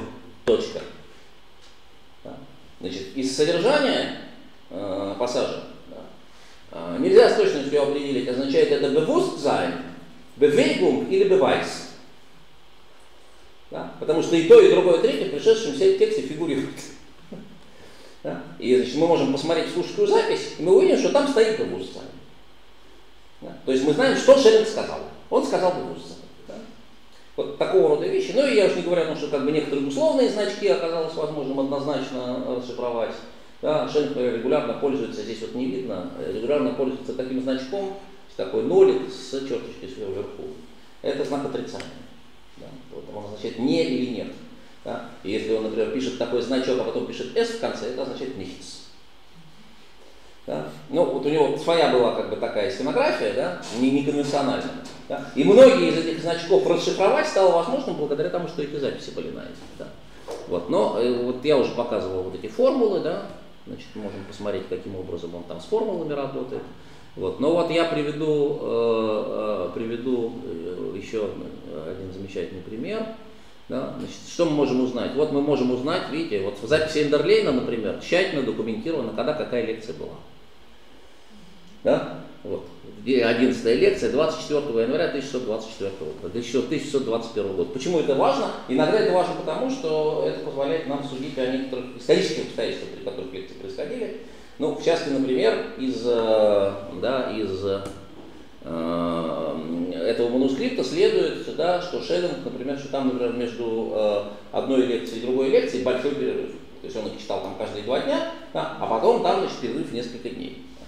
Вот. Если мы начинаем изучать исторические обстоятельства, которые связаны были с этими лекционными процессами, да, то мы узнаем много интересного. Да. Значит, время это 1620-21 год, это бурное время в истории Германии, время развития студенческого движения, да, значит, время вот этого значит, подъема национализма. В 1618 году происходит Барбарский праздник знаменитый, да, который так сказать, стал основой так сказать, для объединения молодежи, ратовавшей да, за создание единого немецкого государства, разочарованных значит, политикой Священного Союза, который вместо того, чтобы дать возможность немецким землям объединиться, создали этот жал, жалкий Рейнский Союз, который никого не удовлетворял. Да. Но ну, они там произносили свободолюбивые речи, да, сжигали книги про-французские, да, торжественно сошли акты Священного Союза на костре. В общем, это было зажигательное мероприятие во всех смыслах. Э, э, да. И это, значит, в этом контексте развивается активно очень значит, бурная деятельность студенческих союзов, так называемых буршеншафтов. Вот. И э, значит, отношения между этими союзами, они как бы имели такой характер какого? Политической напряженности такой, да, внутри университета. А, ну, первоначально это были землячества, как вы знаете, потом они постепенно превратились в такие в политические союзы, да, отчасти тайные, ну, впоследствии некоторые формы буршеншафтов, они потом, собственно, тайными обществами политическими были переняты. Да. Такая смесь как бы из масонской ложи, политического клуба и значит, студенческой формы самоорганизации. Вот. И э, из дневников одного из активных буршеншафтлеров, э, Ханса фон Ауфзесса, да, э, мы знаем о том, что значит, вот в январе 2021 года э, значит, начинает назревать конфликт между двумя студенческими корпорациями. Да, вот. И э, непосредственно после шеллинговских занятий, 15 января, да, значит, они ведут переговоры. Значит, одна, один, один студенческий союз с другим студенческим союзом. Да. Это интересно потому, что главная тема шеллинговских лекций – это что такое свобода. Вот. И это, естественно, не только имеет метафизические, но и определенные политические коннотации. Значит, вот 17 как мы узнаем, значит, 7, значит, 16 и 19 января Шеннон читает лекции. Видите, 16 читает и следующую читает 19. А, почему? Потому что в среду 17 видите, студенты собираются да, и решают поколотить своих противников, да, начинают точить рапиры по домам. Да, и на следующий день они выходят навстречу друг другу. Значит, да, мы знаем, что 18 января, знаем из полицейских источников, да, значит, что они заняли площадь на, в городе, вышли значит, две вооруженные в атаке студентов навстречу друг другу, и пришлось ввести полицию для того, чтобы предотвратить. Да. И мы видим, да, значит, и э, Ауфзес э, пишет в своем Шеллинг из-за этого не читал, чтобы воспрепятствовать переговорам во время его лекции, на которых было так много народу. Да, значит, вот он вынужден был отменить лекцию для того, чтобы избежать скандала и значит, вот какого-то. Да, вот иногда такие, такие вещи помогают нам понять, что Э, абстрактные философские рассуждения, в частности о свободе, да, они в том числе и в политическом контексте воспринимались аудиторией, да, но и соответствующим образом должны интерпретироваться не только в контексте кабинетных каких-то дискурсов, да, а еще и вот в таком политическом контексте. Вот такой вот интересный э, пример. Да. Да, но э, про, э, про плохие записи я, я уже говорил про диалектные особенности. Вот, например, мне очень нравится замечательный пример, э, который э, позволяет нам, несколько примеров, которые позволяют нам э, оценить, а как же студенты реагировали и вообще, насколько студенты были вообще компетентны для того, чтобы некоторые вещи э, ну, вместить. А, вот это чудесный э, пример. Значит, у нас есть две записи, э, две, две слушательские записи. Значит, и э, в, в обоих этих слушательских записях есть один и тот же пассаж, там речь идет, это такая важная для Шеллинга тема, э, что всякое познание, да, оно связано с внутренним разделением, да, на, как бы, да, познающего и познаваемого внутри одного знающего, да, и что через это самое внутреннее отделение, через отделение человека от самого себя происходит, собственно, да, как бы решением, да, э, осуществляется вот, достижение высшего знания. Да. Вот, и у него есть там такая формулировка замечательная, э, сейчас я это где-то здесь, да, э, значит, он там пишет, ну я сейчас, я сейчас сходу, наверное, не найду на, вот на, в этом тексте, да, а, там он говорит о необходимости внутреннего разделения и пишет, а, только через, а, только через разделение может взойти свет высшего познания. Nur, nur durch die höhere Scheidung kann das Licht der höheren Erkenntnis aufgehen. Если мы смотрим запись анонима, то мы видим, что тот же самый пассаж который у него содержится здесь, да, а, выглядит следующим образом. А, сейчас я найду, простите. Да, вот. А, видите?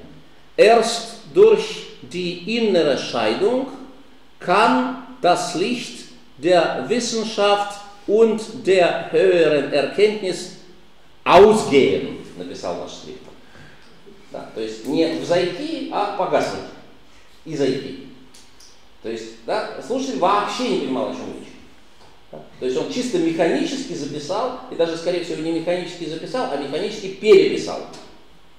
То есть он перепутал F и S, видимо, в черновой записи, да, и совершенно бездумно, так сказать, да, растиражировал то, что, что вообще никак в шеллинговский текст вообще не вписывается.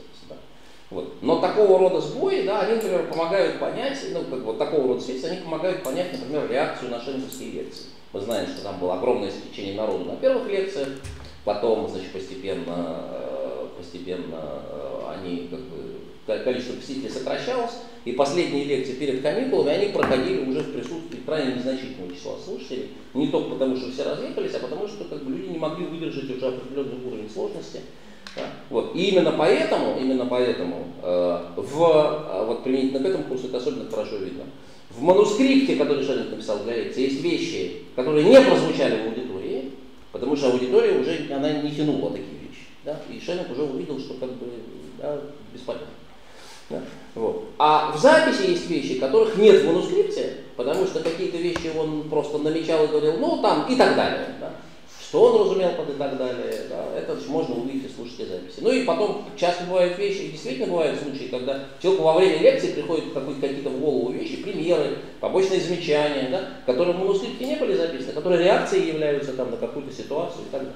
Да. Все эти вещи есть в записи, именно поэтому вот, э, да, когда э, этот комплекс текстов издавали, то издали вместе рукопись, три слушательных записи и текст, который был опубликован со сложной системой конкорданса, да, то есть это действительно позволяет нам не только посмотреть, не только узнать, не только увидеть то, что мы не увидели, не только услышать то, что мы не услышали, не только получить сведения о том, да, что в других источниках не зафиксировано, да, но это позволяет, позволяет нам э, вообще увидеть то, что вообще никаким другим способом как бы, зафиксировать нельзя вот в данном конкретном случае. Да. Можно посмотреть, да, как философская работа шли сначала в рукописи самим, самим авторам, да, и как она переходит из письменного слова в устное, и как это устное слово, как оно приземляется да, э, в аудитории.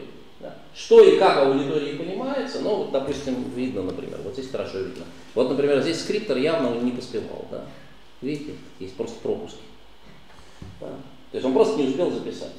Да. И он, значит, эти лакуны добросовестно, добросовестно, например, обозначить. Да. Мы можем там по другой записи можем эти лакуны восстановить. Ну и пару слов о, э, еще об одной вещи, я буквально еще пару слов скажу.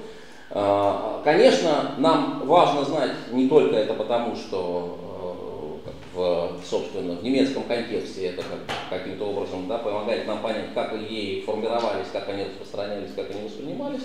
Но эти слушательские записи, они циркулировали далеко за пределами немецкоязычного пространства. А мы довольно много, ну, энное количество таких записей знаем, которые э, в нашем с вами отечестве циркулируют. Я уже упоминал те, которые были у Шевырева, есть целый ряд других. Да?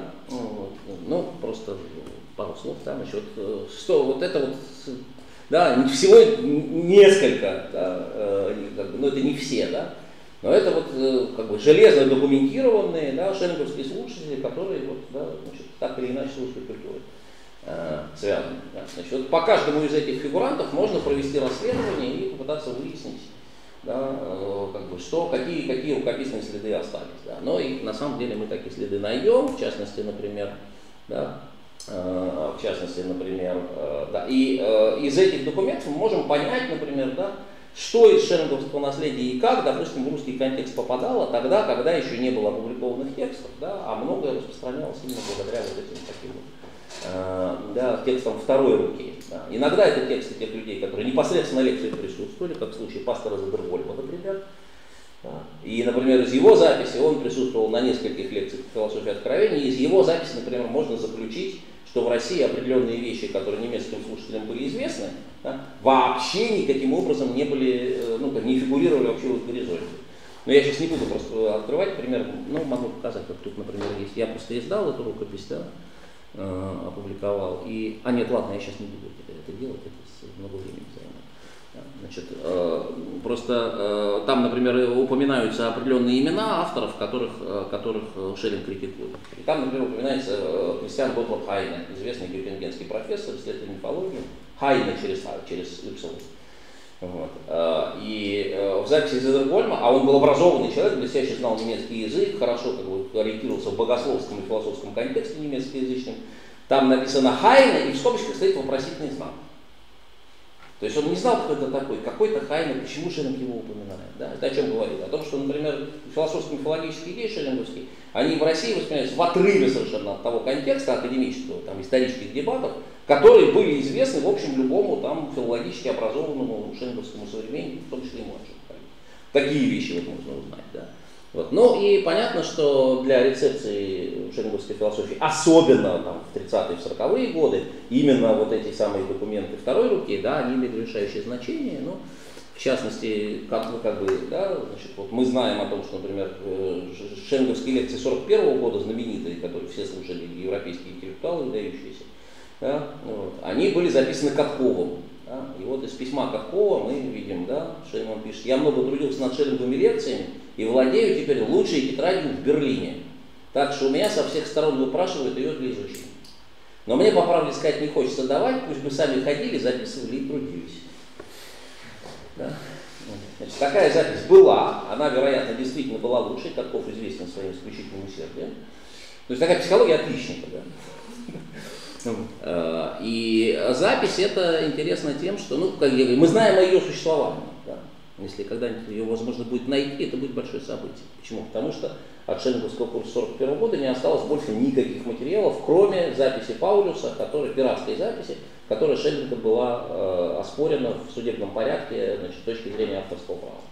А? Она издана была потом заново Манфредом Франком в 1985 году, но все равно это текст сомнительный. Он, он как бы там лакун много, там лапидарных формулировок много. И кроме того, Павлович, конечно, злонамеренный был публикатор, он явно какие-то вещи, э, ну, в общем, я думаю, что он как бы не, не очень стерильно там все было в тексте. Да, поэтому, конечно, запись Каткова можно интересно было бы найти, да, но эта запись однозначно совершенно была Каткову привезена в Россию, и пользовался Александр Иванович Тургенев, вот из эпистолярных свидетельств мы видим, да, что он ею пользовался и, видимо, давал, наверное, каким-то другим. Да. Рукописный фолиант Шеллинга – это явно именно слушательская запись. Да. И понятно, что это решающее значение имеет там, для рецепции шеллинговских идей поздних, ну вот в круге да, значит, европе... Ну, российской интеллигенции как раз вот этих 30-х, 40-х годов. Да. Среди других слушателей шеллинговских Александр Николаевич Попов, известный историк российский. Да. Вот в архиве Попова хранится такой чудесный документ, смотрите. Шеллинговский автограф, который Попов привез с собой из Берлина, когда он там был в 46 году там был. Вот, значит, это забавный такой документ. Здесь написано Augen, augenblickliches Unwohlsein verhindert mich heute meine Vorlesungen zu halten. Am Freitag werde ich gewiss fortfahren. То есть, да, небольшое, да, кратковременное недомогание препятствует мне прочитать мою лекцию сегодня. В пятницу я совершенно определенно продолжу. Все это было объявление, которое было вывесено на доске, да, перед лекцией для студентов, что сегодня лекции не будет, а будет она в пятницу. Ну вот э, Александр Николаевич Попов его прикарманил как сувенир. Да, и теперь оно лежит в Пушкинском доме, как свидетельство того, что он на шелковских лекциях был. Вот. Конспектов, правда, мы не имеем, а вот Петр Николаевич Кудрявцев не только Шеллинга слушал, не только посещал его на дому, но от него сохранилась э, замечательная слушательская запись курса по философии и мифологии 1946 года. Уникальная запись, потому что это самый последний лекционный курс, который Шеллинг вообще читал в жизни, после 1946 года он уже не преподавал. И от этого лекционного курса существует только две записи. Одна хранится в Швейцарии, и она не полная, а другая, она, к сожалению, тоже не полностью сохранилась, хранится в архиве Московского университета сегодня. Я мечтаю ее когда-нибудь издать, но это трудоемкое довольно занятие. Почему она интересна? Потому что это слушательная запись, которая сделана во время лекций, им непосредственно, и потом тщательно переработана и доработана в, значит, уже ну, после окончания лекции.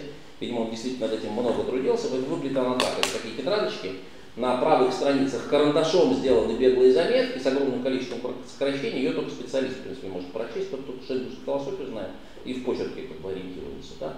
А на левых страницах аккуратно чернилами, каллиграфическим почерком литературный русский перевод, который Кудрявцев был Это исключительно интересный текст. И интересен не только потому, что он просто существует, а и потому, что мы из э, свидетельств э, знаем, что когда значит, Попов, э, Кудрявцев и целый ряд других вернулись э, после стажировки в Берлине да, значит, под, э, значит, под крыло Каткова, вот, то Катков активно стал значит, их поддерживать, и они составили такую группу пропагандистов шеллинговской философии. Катков вот, читал лекции об истории философии по Шеллингу с его тремя началами. Да, разъяснением, пишет Бартенев, служили лекции Леонтьева мифологии, которые отличались э, ясностью, да, в противоположность смутному изложению Каткова. Вот. А э, вот э, Константин Бестужев-Рюмин нам э, сообщает о том, что Э, чтобы ближе познакомиться с шеллинговской философией и мифологией, они, будучи студентами, читали лекции Шеллинга, записанные Кудрявцевым, так как э, книги самого Шеллинга еще тогда не появилось. Значит, вот очевидно совершенно, что эти записи, они не только проникли в Россию, они были в обиходе, они применялись в преподавании в Московском университете. Да? То есть они как бы давались студентам, преподавателям. Кудрявцев был тогда преподаватель.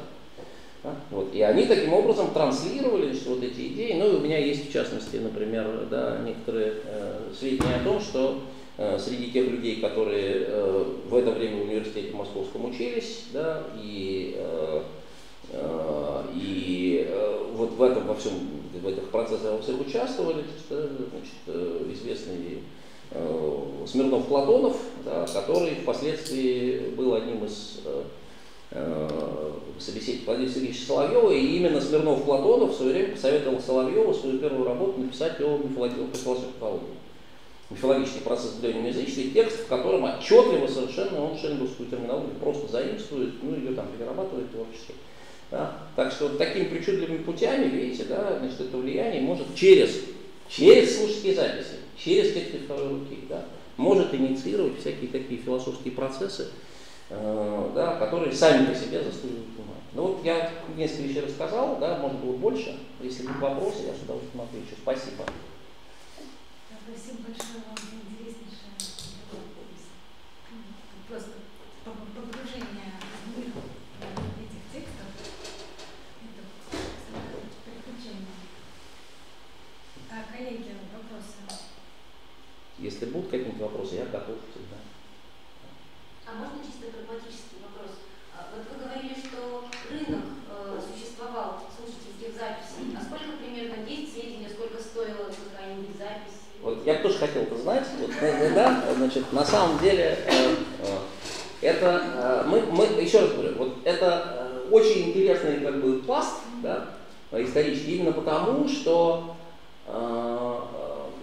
это же никак, э, документально нигде никак не фиксируется. Да? То есть мы имеем дело с ситуацией, когда нам нужно как-то восстановить какие-то элементы истории повседневности, да? а э, повседневность, э, ее же не замечает тот, кто в ней живет. Он ее не тематизирует никак специально. Да? Она как само собой разумеется, то есть это об этом, ни в мемуарах об этом не прочтешь. Да? Ни, как бы, никто об этом особенно ничего не говорит. Значит, можно только сказать, э, значит, две вещи можно сказать. Да? Во-первых, что количество этих записей, да, то есть количество просто записей, ну, экземпляров, явно свидетельствует о том, что вот некоторые записи, которые коллективно изготавливались, они просто тиражировались. То есть мы имеем, например, там два-три списка, ну, идентичных практически. А это о чем говорит? Это говорит о том, что значит, где-то есть список, да, и, э, соответственно, его ну, там, брали на время, например, да, и значит, заказывали, сажали писаря, заказывали ему просто копию.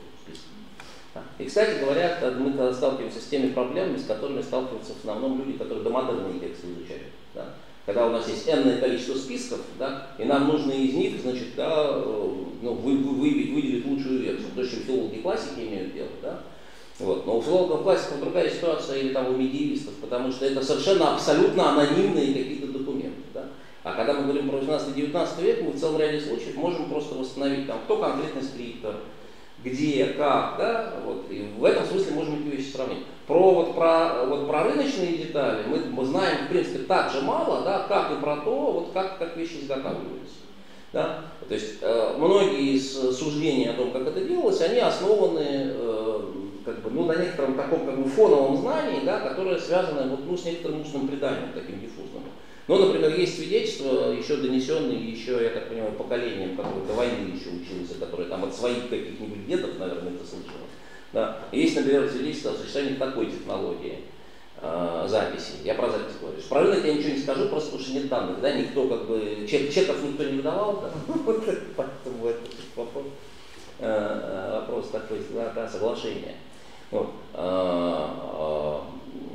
Но интересно, что... И столярных свидетельств никаких не осталось, что там купили ну, вчера ну, никто об этом, ну, никто об этом, вот, допустим, вот в дневнике, не, не в дневнике, в э, письмах э, был такой, э, сейчас, э, с фамилией, сейчас я просто не устал, да. Значит, вот в письме одного из э, слушателей, которые в Ирландине э, значит, э, учились, но которые на этот вот самый ирландский курс 20-21 года не успели, а, вспомнил, да, был такой замечательный э, австрийский деятель церковный Франц Брухман. Он впоследствии потом стал, он э, значит, в Вене родился, э, и впоследствии он стал одним из активных таких деятелей ордена дентаристов. Он, э, значит, вот в начале 20-х годов в Ирландии не учился. Он переписывался с поэтом Августом фон Платоном, который на ирландских лекциях участвовал. И, кстати, у него тоже есть в дневниках конспекты первых лекций, тоже интересный материал. Вот, и там он описывает, как, как студенты реагировали, там очень много всяких интересных вещей. Ажиотаж, который там был, потому что народу было очень много. И когда Шенк первые лекции начал читать, то а, а, после первых двух или трех лекций они вынуждены были поменять помещение. Потому что э, первую лекцию, я вам покажу сейчас, первую лекцию он читал вот в этом здании. Вот. Это, ну, это сейчас здание минералогического факультета. Вот. Мы даже знаем, где вот эти вот два окна э, справа и два окна за углом. Да. Значит, вот это, это, это э, большая поточная аудитория. Да? Вот. И мы по свидетельств э, современников знаем, что э, значит, э, аудитория не могла вместить всех желающих, были открыты все окна, и под окнами на лужайке сидели студенты, и они слушали лекцию через окна. Вот. Но поскольку было душно и, в общем, ну, в общем, это было неудобно, он потом попросил, чтобы в, в актовый зал, в аулу, в большую аулу их перевели, этот в дневнике в Шереметьевском флешбал. Ну. А, да, так вот, Брухман пишет, например, что а, а, что вот он, к сожалению, опоздал, что вот он этот курс э, значит, не, не успел послушать, но он так жаждет узнать, как бы, что там было, и он пишет, значит, я готов, когда готов был бы как бы где-нибудь да, хотел бы найти, готов найти вот эту самую, э, значит, эту самую запись, да, наверняка записи есть, и он говорит, um jeden Preis möchte ich diese за любую цену готов бы был приобрести. Да. Ну а какой конкретной цене, о той конкретной цене он не говорит. Ну то есть как бы эти вещи, они особо, особо не обсуждались. Да. Вот, да, так вот про технологии. Была, например, такая технология, поскольку, как, значит, поскольку это как бы предмет коллективного интереса, то, например, была такая технология, э, значит, договаривалось определенное количество студентов, они садились в первый ряд, да, и они э, делили между собой, если темп речи был э, как бы побыстрее немножко у лекторов, да, то они делают так, они садились, и они делились между собой, значит, они эстафеты записывали. То есть первый записывает первое предложение, второй второе, третий третье, четвер... первый четвертое, второй пятое и так далее. Да? Потом они это все собирали, соединяли, кодифицировали, получали точно записанный текст слово в слово. Такая, например, ну, диктофонов не было, да?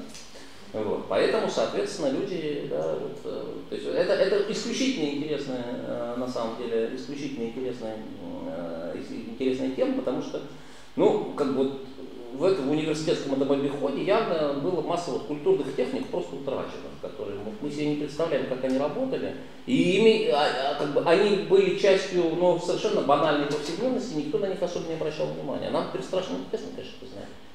Да? И я вот задавал вопросы коллегам, которые кантовскими записями занимаются, например, и они говорят, тоже говорят, ну вот мы не знаем. То есть есть вот какое-то диффузное предание, а так, чтобы это вот можно было действительно где-то зафиксировать, там в документе, еще где-то видеть к сожалению, нет. Вот. Но видно, например, что есть какие-то вот, есть какие-то общие техники явно. Вот я уже говорил, допустим, вот эта техника, например, делить страницу пополам, да, и значит, оставлять для доработки правую страницу, причем ну, там, ну, причем определенным образом там располагать текст. Это типовая совершенно, как бы типовая форма рабочей рукописи вот на конце 18 века. Кант так работал, кантовский опус постер так устроен. Шеллинговские манускрипты, все почти они так устроены. То есть это была вот техника определенной работы. Да? Ты пишешь текст, да, вот, а потом ты его можешь дорабатывать, ты можешь делать вставки, ты можешь там писать комментарии, ну и так далее. Да. Значит, это, видимо, их университет, видимо, этому учили, может даже в гимназии тоже. То есть это как бы, определенная техника работы с материалом, да, которая вот, в докомпьютерное время да, она позволяет вариабельность текста сохранять и так далее. Да. Так что вот эти, вещи восстановить, это интригующе именно поэтому, да, что вы, как бы, э, восстановить эти вещи очень трудно, да, но это позволяет посмотреть вот на эту живую среду, в которой в которой вся эта философская деятельность, она, она, она же не, не в эфире как бы бестелесно осуществляется. Конкретно, конкретно в социальной ситуации, в конкретном контексте, конкретно. Э, да. Ну и вот по конверсатории, например, много вот интересно было бы узнать, да, вот мы знаем, например, что вот про ирландский курс мы знаем, что Шеллинг специально объявил, назначил специальный день, сказал, в такой-то день можно ко мне приходить домой да, и задавать любые вопросы да, по моему курсу. Было назначено время, это было объявлено публично, и студенты к нему приходили, а, и, видимо, э, и как раз вот, ну, мы знаем, кто, например, в этом конверсаторе принимал участие активно, там благодаря свидетельствам Шуберта, главным образом. Да? Вот. Э, но что там происходило? Какие вещи, как Шевин говорил, какие не говорил, да, что там обсуждалось. Вот про гегелевские репертуарии мы можем знать благодаря вот этим вот заметкам, да, вот, а от Шеллинговских консерваториев, например, ничего не осталось. Да. Но он и, он и относился к этому по-другому, вы же знаете, да, что он, э, это тоже интересная история. Да. Дело в том, что история, как бы, история возникновения этих записей, она тоже довольно специфическая, потому что а, Шеллинг очень беспокоился по поводу того, что бесконтрольно будет распространяться, тиражироваться, еще к тому же в искаженном виде, то, что он говорил. Да, вот. И поэтому он стремился как-то эту деятельность студенческую как-то взять под контроль. Поэтому он как бы, да, записи брал на авторизацию, это как бы не очень помогало. Вот. А, а были, были периоды, когда он, например, просто записывать не разрешал. То он просто не разрешал записывать, люди садились где-нибудь сзади и записывали тайком. Да? То есть такое тоже было. Э, вот, поэтому э, это вот такое очень интересная, такая серая зона, да, которая исторически плохо документирована. Вот можно по каким-то косвенным свидетельствам, по, э, по мемуарным свидетельствам установить. Но я думаю, сейчас мы постепенно будем, чем, чем больше документов будет появляться, да, тем, тем, тем больше мы будем иметь об этом сведений. Дело в том, что обычно ведь как происходит? эпистолярное наследие обычно чье поднимается? Каких-то известных людей.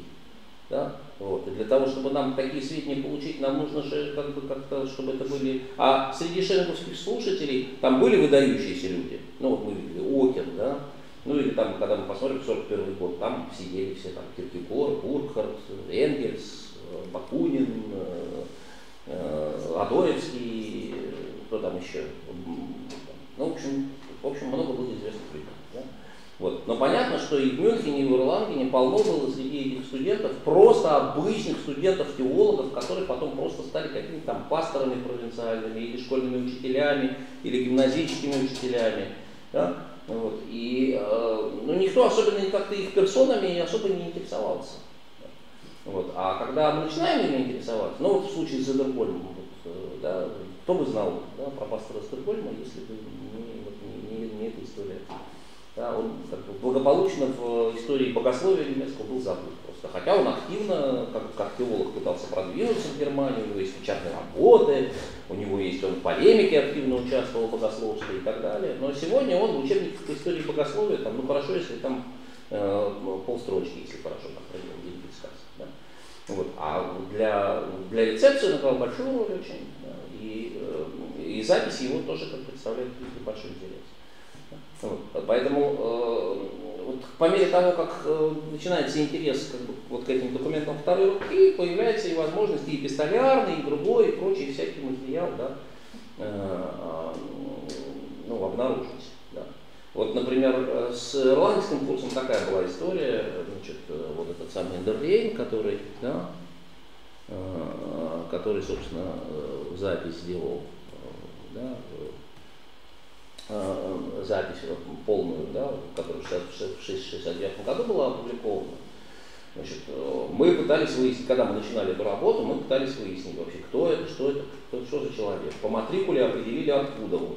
Определили, откуда он, значит, выяснили там, посмотрели там возраст и так далее. Значит, потом выяснилось, что он потом сыграл определенную роль там, в жизни своего родного города, там, Значит, и мы связались там, с, ну, я там связался с историками города, ну, с краеведами, естественно, говорю, а вот там что-нибудь слышно, нет, они говорят, вот у нас вот про его деятельность по градоустройству, э, значит, вот есть статья. Значит, я открываю эту статью и смотрю, что там цитируются его воспоминания. Пишу сразу, а что, что за какие воспоминания? Они говорят, воспоминания не опубликованы. Вот. А говорю, откуда у вас данные? Они говорят, ну вот мы, у нас вот есть его пра пра правнук, он живет у нас в городе, вот он нам дал как бы посмотреть.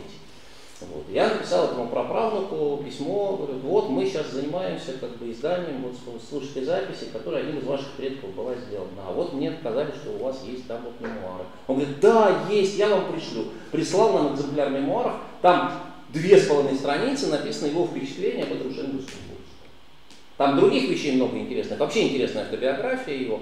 Да? Ну, вот он там и идейную атмосферу очень интересно описывает, университетский обиход описывает, расписание, вот, университетский быт, там в частности, что ели, ну там много всяких интересных вещей. Вот, про пивные немецкие начала 19 века, много что интересного узнали. Вот, в общем, там замечательные вещи. Вот. Но вот, э, да, в жизни никогда никто бы не извлек из, из анналов да, вот такого рода документов. Вот. Так часто бывает, что вот такие документы вдруг всплывают, которые, да, которые э, неожиданно оказываются важными. Да. Именно поэтому важно изучать не только как бы, конкретно да, великих э, отцов-основателей, да, собственно, за что покойный Дитер Хенрих, да, собственно, и ратовал, да, что как бы философия делается не, не великими умами только, да, а как бы она делается средой, да, и вот в этих самых констелляциях, да, в них как бы часто мы находим ключи к пониманию вещей, просто к получению информации о каких-то вещах, которые для историков философии могут, оказать, могут оказаться решающими, решающими значимыми. Поэтому такими вещами на самом деле важно заниматься, хотя это требует ну, и времени, и инвестиций, и, и компетенции соответствующих. Вот. Но это, это супер интересно, потому что это позволяет именно увидеть как, не только, не только про, про содержательные вещи философские узнать, но и понять, как, как, как в социокультурном плане, как философия работает. Да, как идеи распространяются, как они трансформируются, на что и как они оказывают влияние, как они сказываются там, в биографиях вот этих учеников, там можно посмотреть, что все, кто у Шеринга учился, значит, по, в разных отношениях, да, в их биографии это какой-то очень важный такой, важная отправная точка. Там, там, для Бухмана это как бы его, там, предположим, поворот к католицизму, он был настроен очень критически, антикатолически. потом становится там, да, для, э, там, предположим, для э, других э, его э, слушателей, это как бы путь в академическую карьеру, там, предположим, Андреас Вагнер, э, да, известный впоследствии зоолог, который потом будет его коллегой в Мюнхенской академии наук. Да, понятно, что первые импульсы были отсюда. Да. Вот. И, ну, там можно другие можно примеры приводить. Да. Ну, то есть э, можно посмотреть вот на то, как это, как это, э, да, как после, после действия да, э, какого-то философского высказывания, иногда даже вот в, не в академической и вообще не в ученой среде, как иногда может э, обернуться. Это тоже такая интересная вещь. Если да. Петр Иванович, можно мне просто приходит в голову такой вопрос чисто филологический. Здесь есть у нас э, довольно хорошо, хорошо сохранившийся, ну, конечно, всегда можно хотеть, чтобы было лучше, Ну да. но э, довольно обширный, по крайней мере, по сравнению. А, э, корпус текстов двух типов, с одной Ну да. стороны, э, записи Да. А, лекции слушательские, с другой стороны, там изданные материалы, которые в некоторых случаях соответствуют друг другу, не во всех, но, по крайней мере, в некоторых случаях есть, так сказать, параллельные Ну да. экземпляры а, текстов двух типов.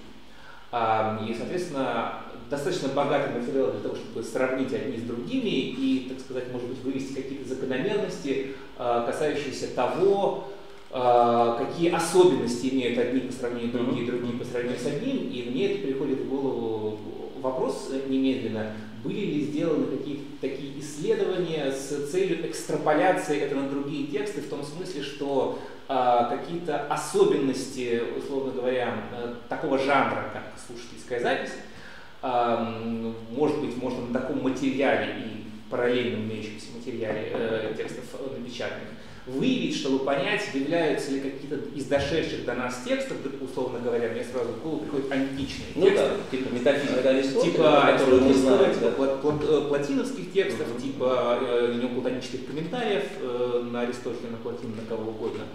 Соответственно, для того, чтобы э, произвести некоторую на этом материале оценку того, э, какие закономерности соблюдаются в этих текстах, чтобы можно было сделать вывод о том, как они были созданы, были ли они созданы как бы в качестве записанного произведения, или они были созданы скорее в качестве, так сказать, произведения написанного автором. Это исключительно сложный вопрос.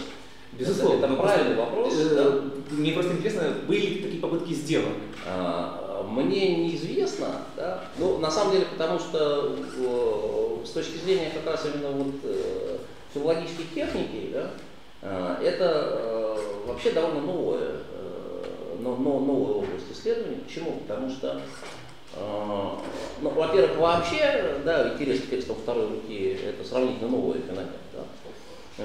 А, а во-вторых, э, вот этот интерес, он э, возник, собственно, в 60-е и 70-е годы, тогда же, когда возникло, э, тогда же, когда изменилось отношение к, вообще к, как бы, как, я объясню, как бы изменилось вообще концептуальное основание вообще самой этой деятельности эдиционной. Да? Потому что, значит, на что филология была направлена там до 60-х, начала 70-х годов? На восходящее к Лахману представление о том, что в чем заключается задача критики текста. Гиперхитив. Ага, Да, значит, нам нужен, как бы, значит, целью является лучший текст. Да? Как мы определяем, какой текст лучший, что является направляющим? Направляющим является представление о том, что в тексте выражается некоторая авторская воля, да? и есть текст, который больше соответствует авторской воле, текст, который меньше соответствует авторской воле. Да? За счет чего это возможно? Мы сличаем много разных версий, видим, что там, предположим, да, как бы одно чтение дает как бы больший смысл, более, более связанный смысл, чем другое чтение. Мы говорим, вот это чтение, оно как бы дефектное, а это чтение, оно правильное. Да? Значит, все как бы отклоняющиеся чтения мы фиксируем Лезартом, да, но значит, эдитор своей волей говорит, вот это, это авторская воля. Да. У нас есть аргументы герменевтические, которые нам говорят, что это авторская воля. Да. Значит, в 60-е годы происходит перелом, ну, под влиянием в том числе всякого постструктурализма, да, э, происходит перелом этой практике, да, потому что э, э, как бы приходит понимание того, что сама эта идея лучшего текста, да, она в целом ряде случаев, она, ну, как бы, она в воздухе висит. Да? Потому что существует масса текстов, в отношении которых мы вообще не можем говорить о некоторой окончательной авторской интенции. Но многие, наверное, знают, что послужило э, триггером таким главным для этих дискуссий. Триггером послужили дебаты вокруг издания э, рукописного наследия Фридриха Гюльдера. Да, значит, было сделано сначала в 40-е годы да, значит, знаменитое издание Гёбелина Штутгартское, которое перевезде в открытом доступе висит, которое строилось именно так. Да? Конституция правильного текста, все остальное загоняется в примечание и говорится, вот там есть зачеркивание, исправление варианты, автор как бы их, значит, э, как бы нам это не интересно, нам интересен только результат. Вот. И был такой замечательный немецкий филолог Дитрих Затлер, который э, значит, затеял альтернативное издание георгиевских манускриптов, которое ну, каким образом было устроено. А, значит, он заявил, ну, в духе вот этих всех идей, да, постструктуралистов, что, да, что текст вариативен, да, что автор это фикция и так далее. Да. Значит, он заявил о том, что как бы, давайте мы посмотрим на текст так, как он действительно перед нами наличен. А как он перед нами наличен? Как георгиевские поздние тексты перед нами наличны? Да? Это черновик, в котором есть э, это как бы полимсест, да? в нем есть текст, да, в котором как бы какие-то вещи существуют в одной, в двух, в трех версиях. Да. Иногда все вычеркнуты, кроме, кроме одной, иногда не вычеркнутых две или три. Да. Значит, автор не определился с тем, как бы, какое окончательное, да. как нам этот промежуточный статус, когда мы его в печатную форму переводим, как нам его показать. Да? Значит, получается, что мы, как бы, если мы исходим из идеи лучшего текста, то тогда мы насилуем как бы, это многообразие, вырезаем тот, который нам кажется более удобным или там более убедительным. Все остальное это шлак. Да? А давайте, например, посмотрим на этот текст как на, как на живое целое, это сложное. Да? Посмотрим на него в генезисе, в процессе, да? увидим, что, он, да, что там нет, нету как бы одного однозначного последнего смысла, да? Вот, потому что у нас средств нет для того, чтобы эту авторскую реконструировать. Да, вот, и, поэтому, и вот интерес к этим самым э, слушательским записям, да, он еще связан с интересом к этой проблеме уже чисто философской, да, соотношение между письмом и речью. Да, то есть как работать в письме, а как в речи работает, там, да, одно и то же. А теперь возвращаясь к вашему вопросу. А, а, в контексте всех этих проблем, да, а, проблематично, ну, как бы сложным оказывается выявить какую-то такую генерализующую модель, прежде всего потому, что тексты, возникшие в разных исторических условиях, да, они, э, ну, они как бы разные, разной внутренней нормативностью обладают. Ну, простой пример, да, существуют определенные риторические правила. Да? Значит, как они устроены там в тексте, они в текстах разных языков и в текстах разных культурных формаций по-разному выглядят. Да? Значит, насколько нормируется, насколько кодифицируется там определенный тип письма, да, насколько существует для него там определенный риторический растер, формат какой-то. Да. Но я там обычно, да, и, и поэтому как бы в отвлечении от содержания, в отвлечении от вот этого представления об исторической изменчивости, исторических клише, очень трудно разработать какую-то типа абстрактную модель. Да. Я в этом отношении, меня часто спрашивают связи с этими дебатами вокруг авторства, да, часто, например, спрашивают, а что, ну вот как бы у нас же есть компьютерная филология, да, искусственный интеллект, давайте, значит, да, нейросети и так далее. Вот. И все время э, приходится объяснять, что э, как бы искусственный интеллект, он, ну, в смысле, как компьютерные методы, там, статистические и прочие, да, они позволяют действительно, ну, какие-то результаты получить, да, но эти результаты, они в отрыве от содержания на самом деле очень мало что дают. В отрыве от содержательного анализа вот этих риторических форм, да, то есть можно создать математическую модель генерализующую, да, но что она нам даст? Да? Значит, э, там, насколько она позволит нам выявить там, какие-то индивидуальные особенности, как я обычно там, ну, такой, привожу такой простенький пример, может быть, немножко глуповатый, говорю, давайте э, возьмем, там, сравним, э, не знаю, да, там, э, 5000 отзывов на кандидатские диссертации. Мы как сможем определить степень оригинальности? Да? Вот, и как мы сможем по определенным да, генерализуемым признакам определить, какие из этих отзывов, какая, какая группа отзывов принадлежит одному автору или даже одной группе авторов.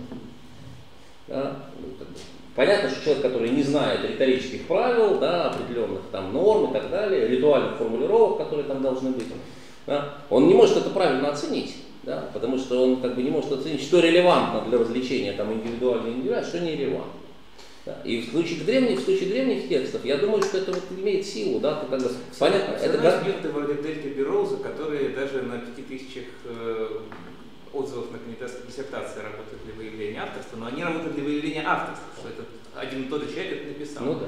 А это как бы интересно, но в ограниченном диапазоне случаев. Ну, да, Нет ли подобных методов, э, экстраполированных вот с такого материала? Ну, вот я, я, я, я не видел таких э, вещей. Хотя на самом деле это, я думаю, что это интересный, интересный э, вопрос.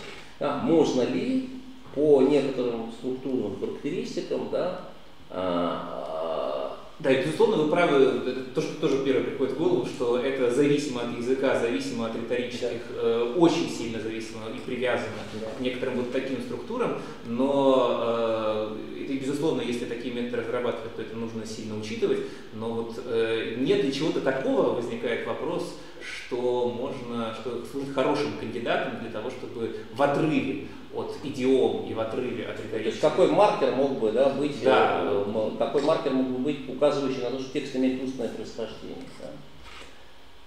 Хороший вопрос, да? потому что э, э, ну, я небольшой знаток. Вот интересно, например, помимо просто вот вариативности, допустим, нарратива да, или вариативности выражений, э, там, какими аргументами, предположим, пользовались э, библеисты, там, рубежа 17-18 веков, когда они вот обосновывали эту идею, да, вот, значит, устной киригме, которая лежит в основе канона. о логиях. М? О логиях, то, что Да, называется в да, да, Евангелии, да, да, да.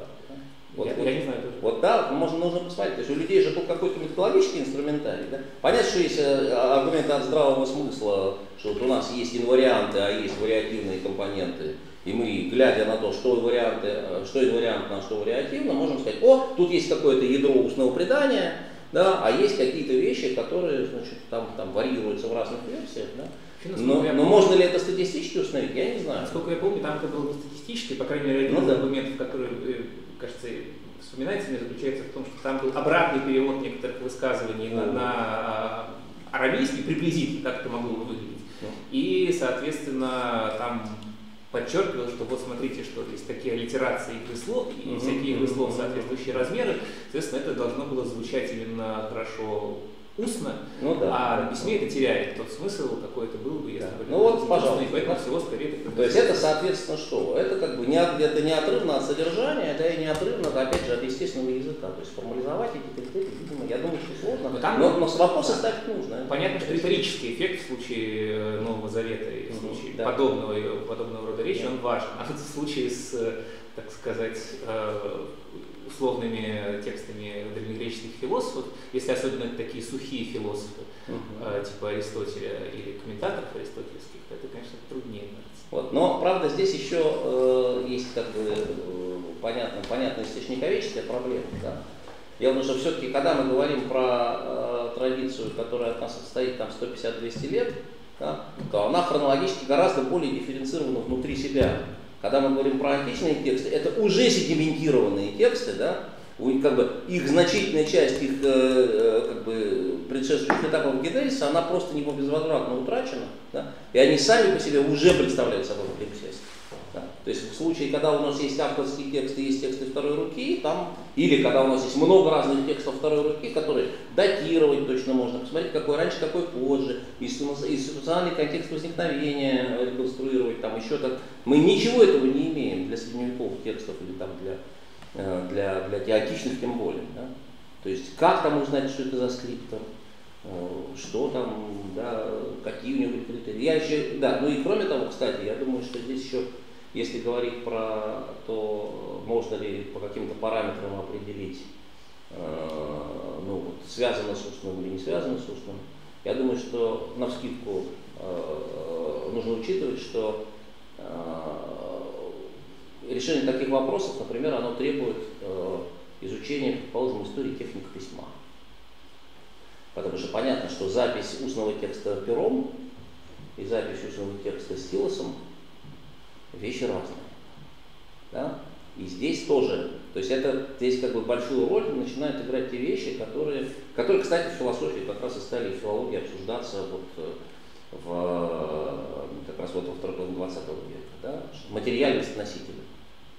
Да? То есть, что как бы материальный носитель это не просто какой-то как бы нейтральный медиум, да, который, так сказать, сам не оказывает влияния на то, что, собственно, он транслирует. Он оказывает? И в этом смысле как бы сама техника письма, ну, то есть поэтому вот это, это все должно обсуждаться, наверное, еще в связи с, вот, с теорией медиа и вообще вот с историей медиа, да, вещи, которые как раз сейчас тоже активно в гуманитаристике обсуждаются. Да.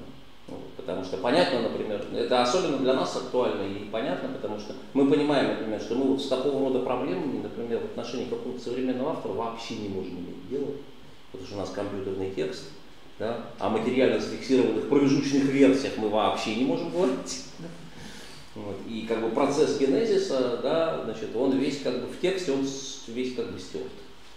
Ну, да? Не вполне, потому что есть же практика в современной академии, множество драфт подходящих. То есть, ну, когда да. человек пишет книгу, он там. Но это когда он специально да. это делает. Это когда он специально это делает. Да? Ну и вероятность того, что они сохранятся, да, независимо от, э, от, от воли автора, да, она тоже невелика. Вот э, тоже, кстати, интересная вещь. Да? Вот почему, например, такие проблемы текстологические вот с этими текстами 18-го, начала 19 века?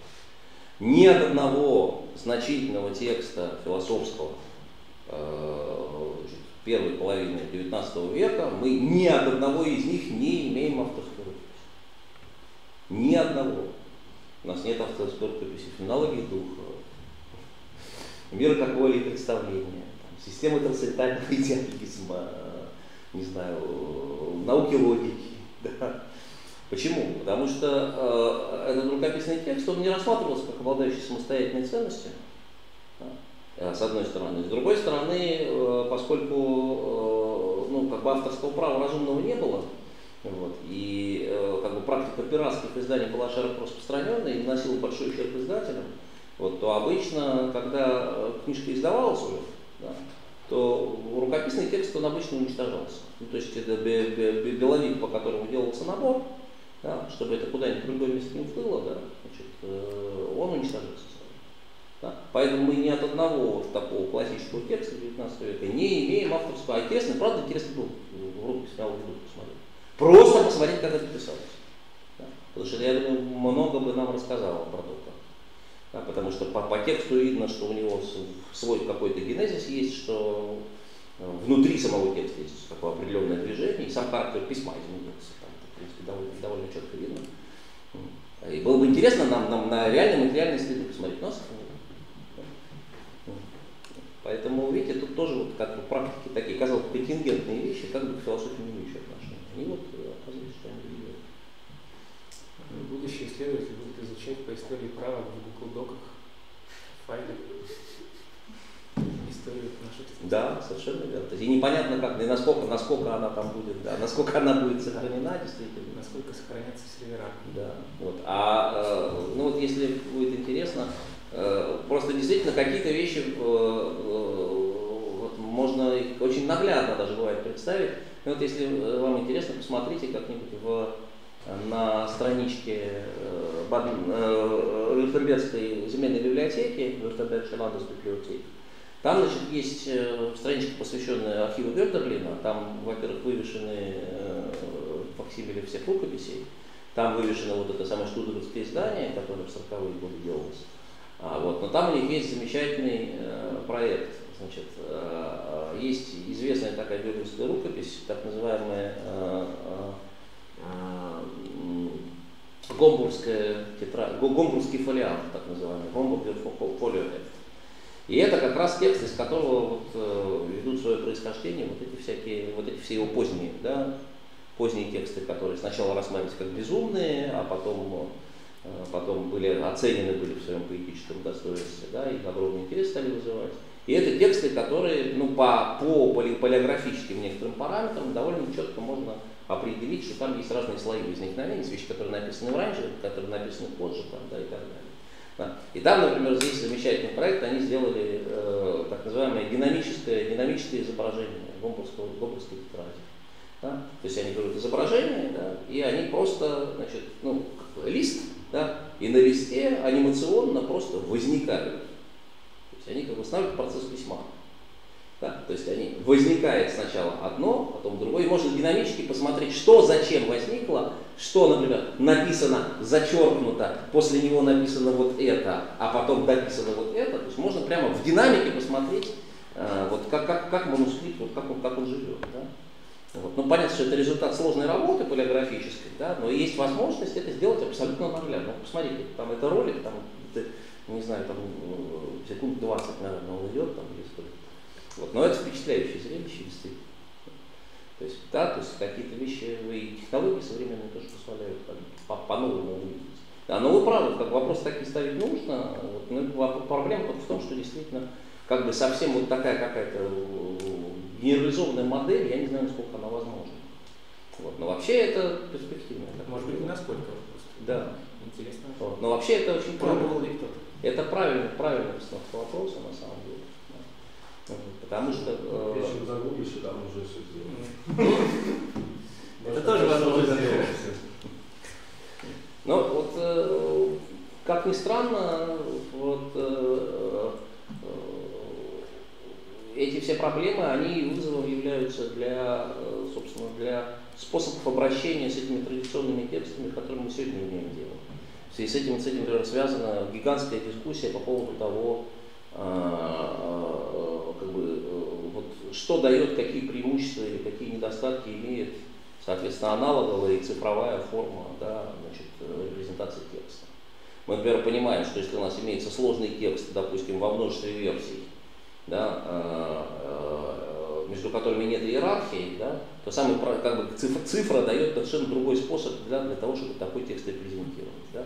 Мы, его, как бы, мы эти множество версий, как вариативные, все как бы, зашиваем да, в один да, в один сложно устроенный документ, мы можем как бы да, более ранний слой, более поздний слой включить, выключить, посмотреть, как они соотносятся. Да, отсюда как бы, вот, популярность этих самых цифровых изданий.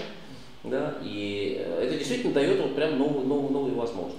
У нас вот в этом цикле семинаров Леша Жаровков рассказывал про то, как собственно, он является одним из тех, кто сейчас издание Ханар делает в Германии вот как раз цифровое такого рода с э, там, многочисленными иерархизированными и многочисленными разными типами э, собственно, текстов, которые по-разному отображаются, которые одновременно в разных так сказать, вариантах доступны, так что с одной стороны с этого можно выйти.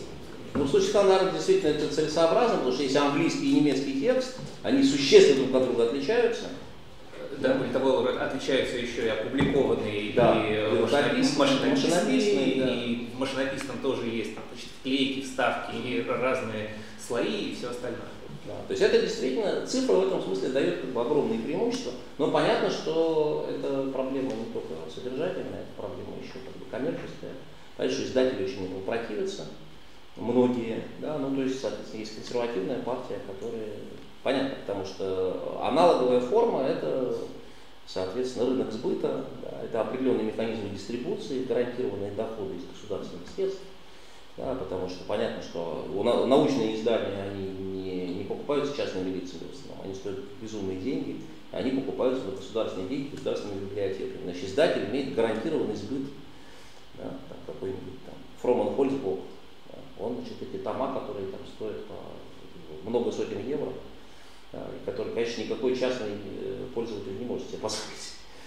Они их гарантированно продают значит, в определенных тиражах, и как бы, здесь все в порядке. А если будет цифра, как защищать, как продавать, ну, в общем, масса всяких проблем. Да? Неоднократно эти дебаты наблюдал. Они PDF продают за те же 700 евро, доверяют Ну, в общем, да, то есть есть.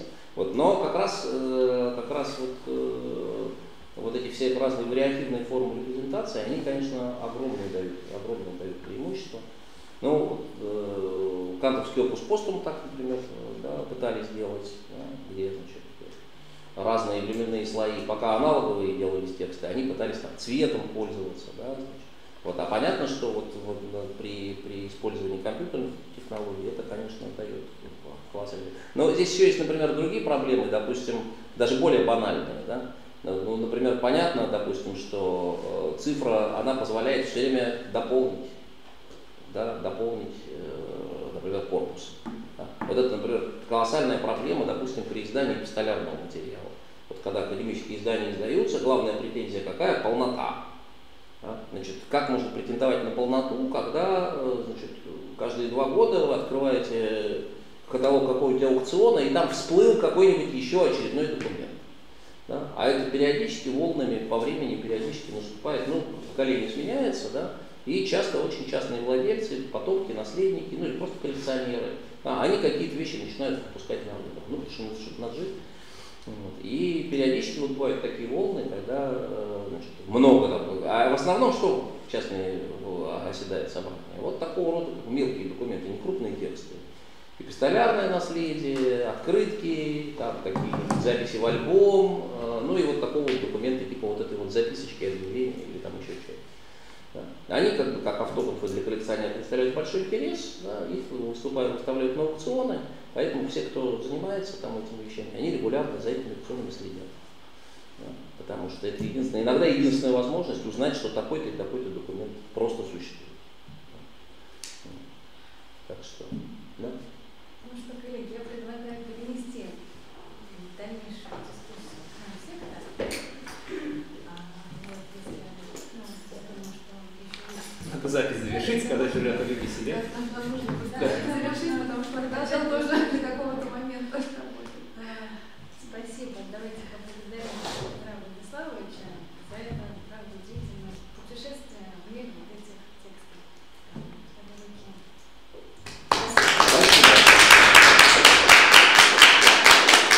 Спасибо, я очень рад быть в институте и рад, что имел возможность поделиться этими наблюдениями.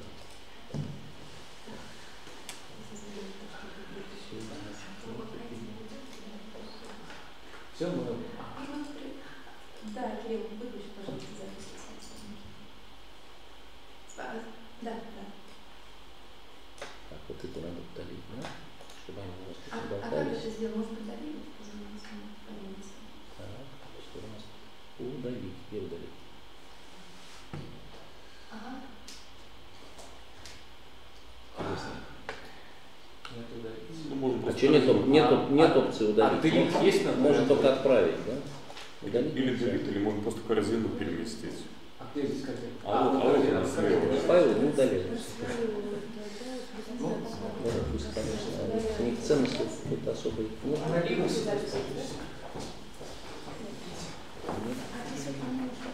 Мне кажется, что давайте возьмем и корзину. А, вот так. Со старым. А, то есть все понятно. Вот.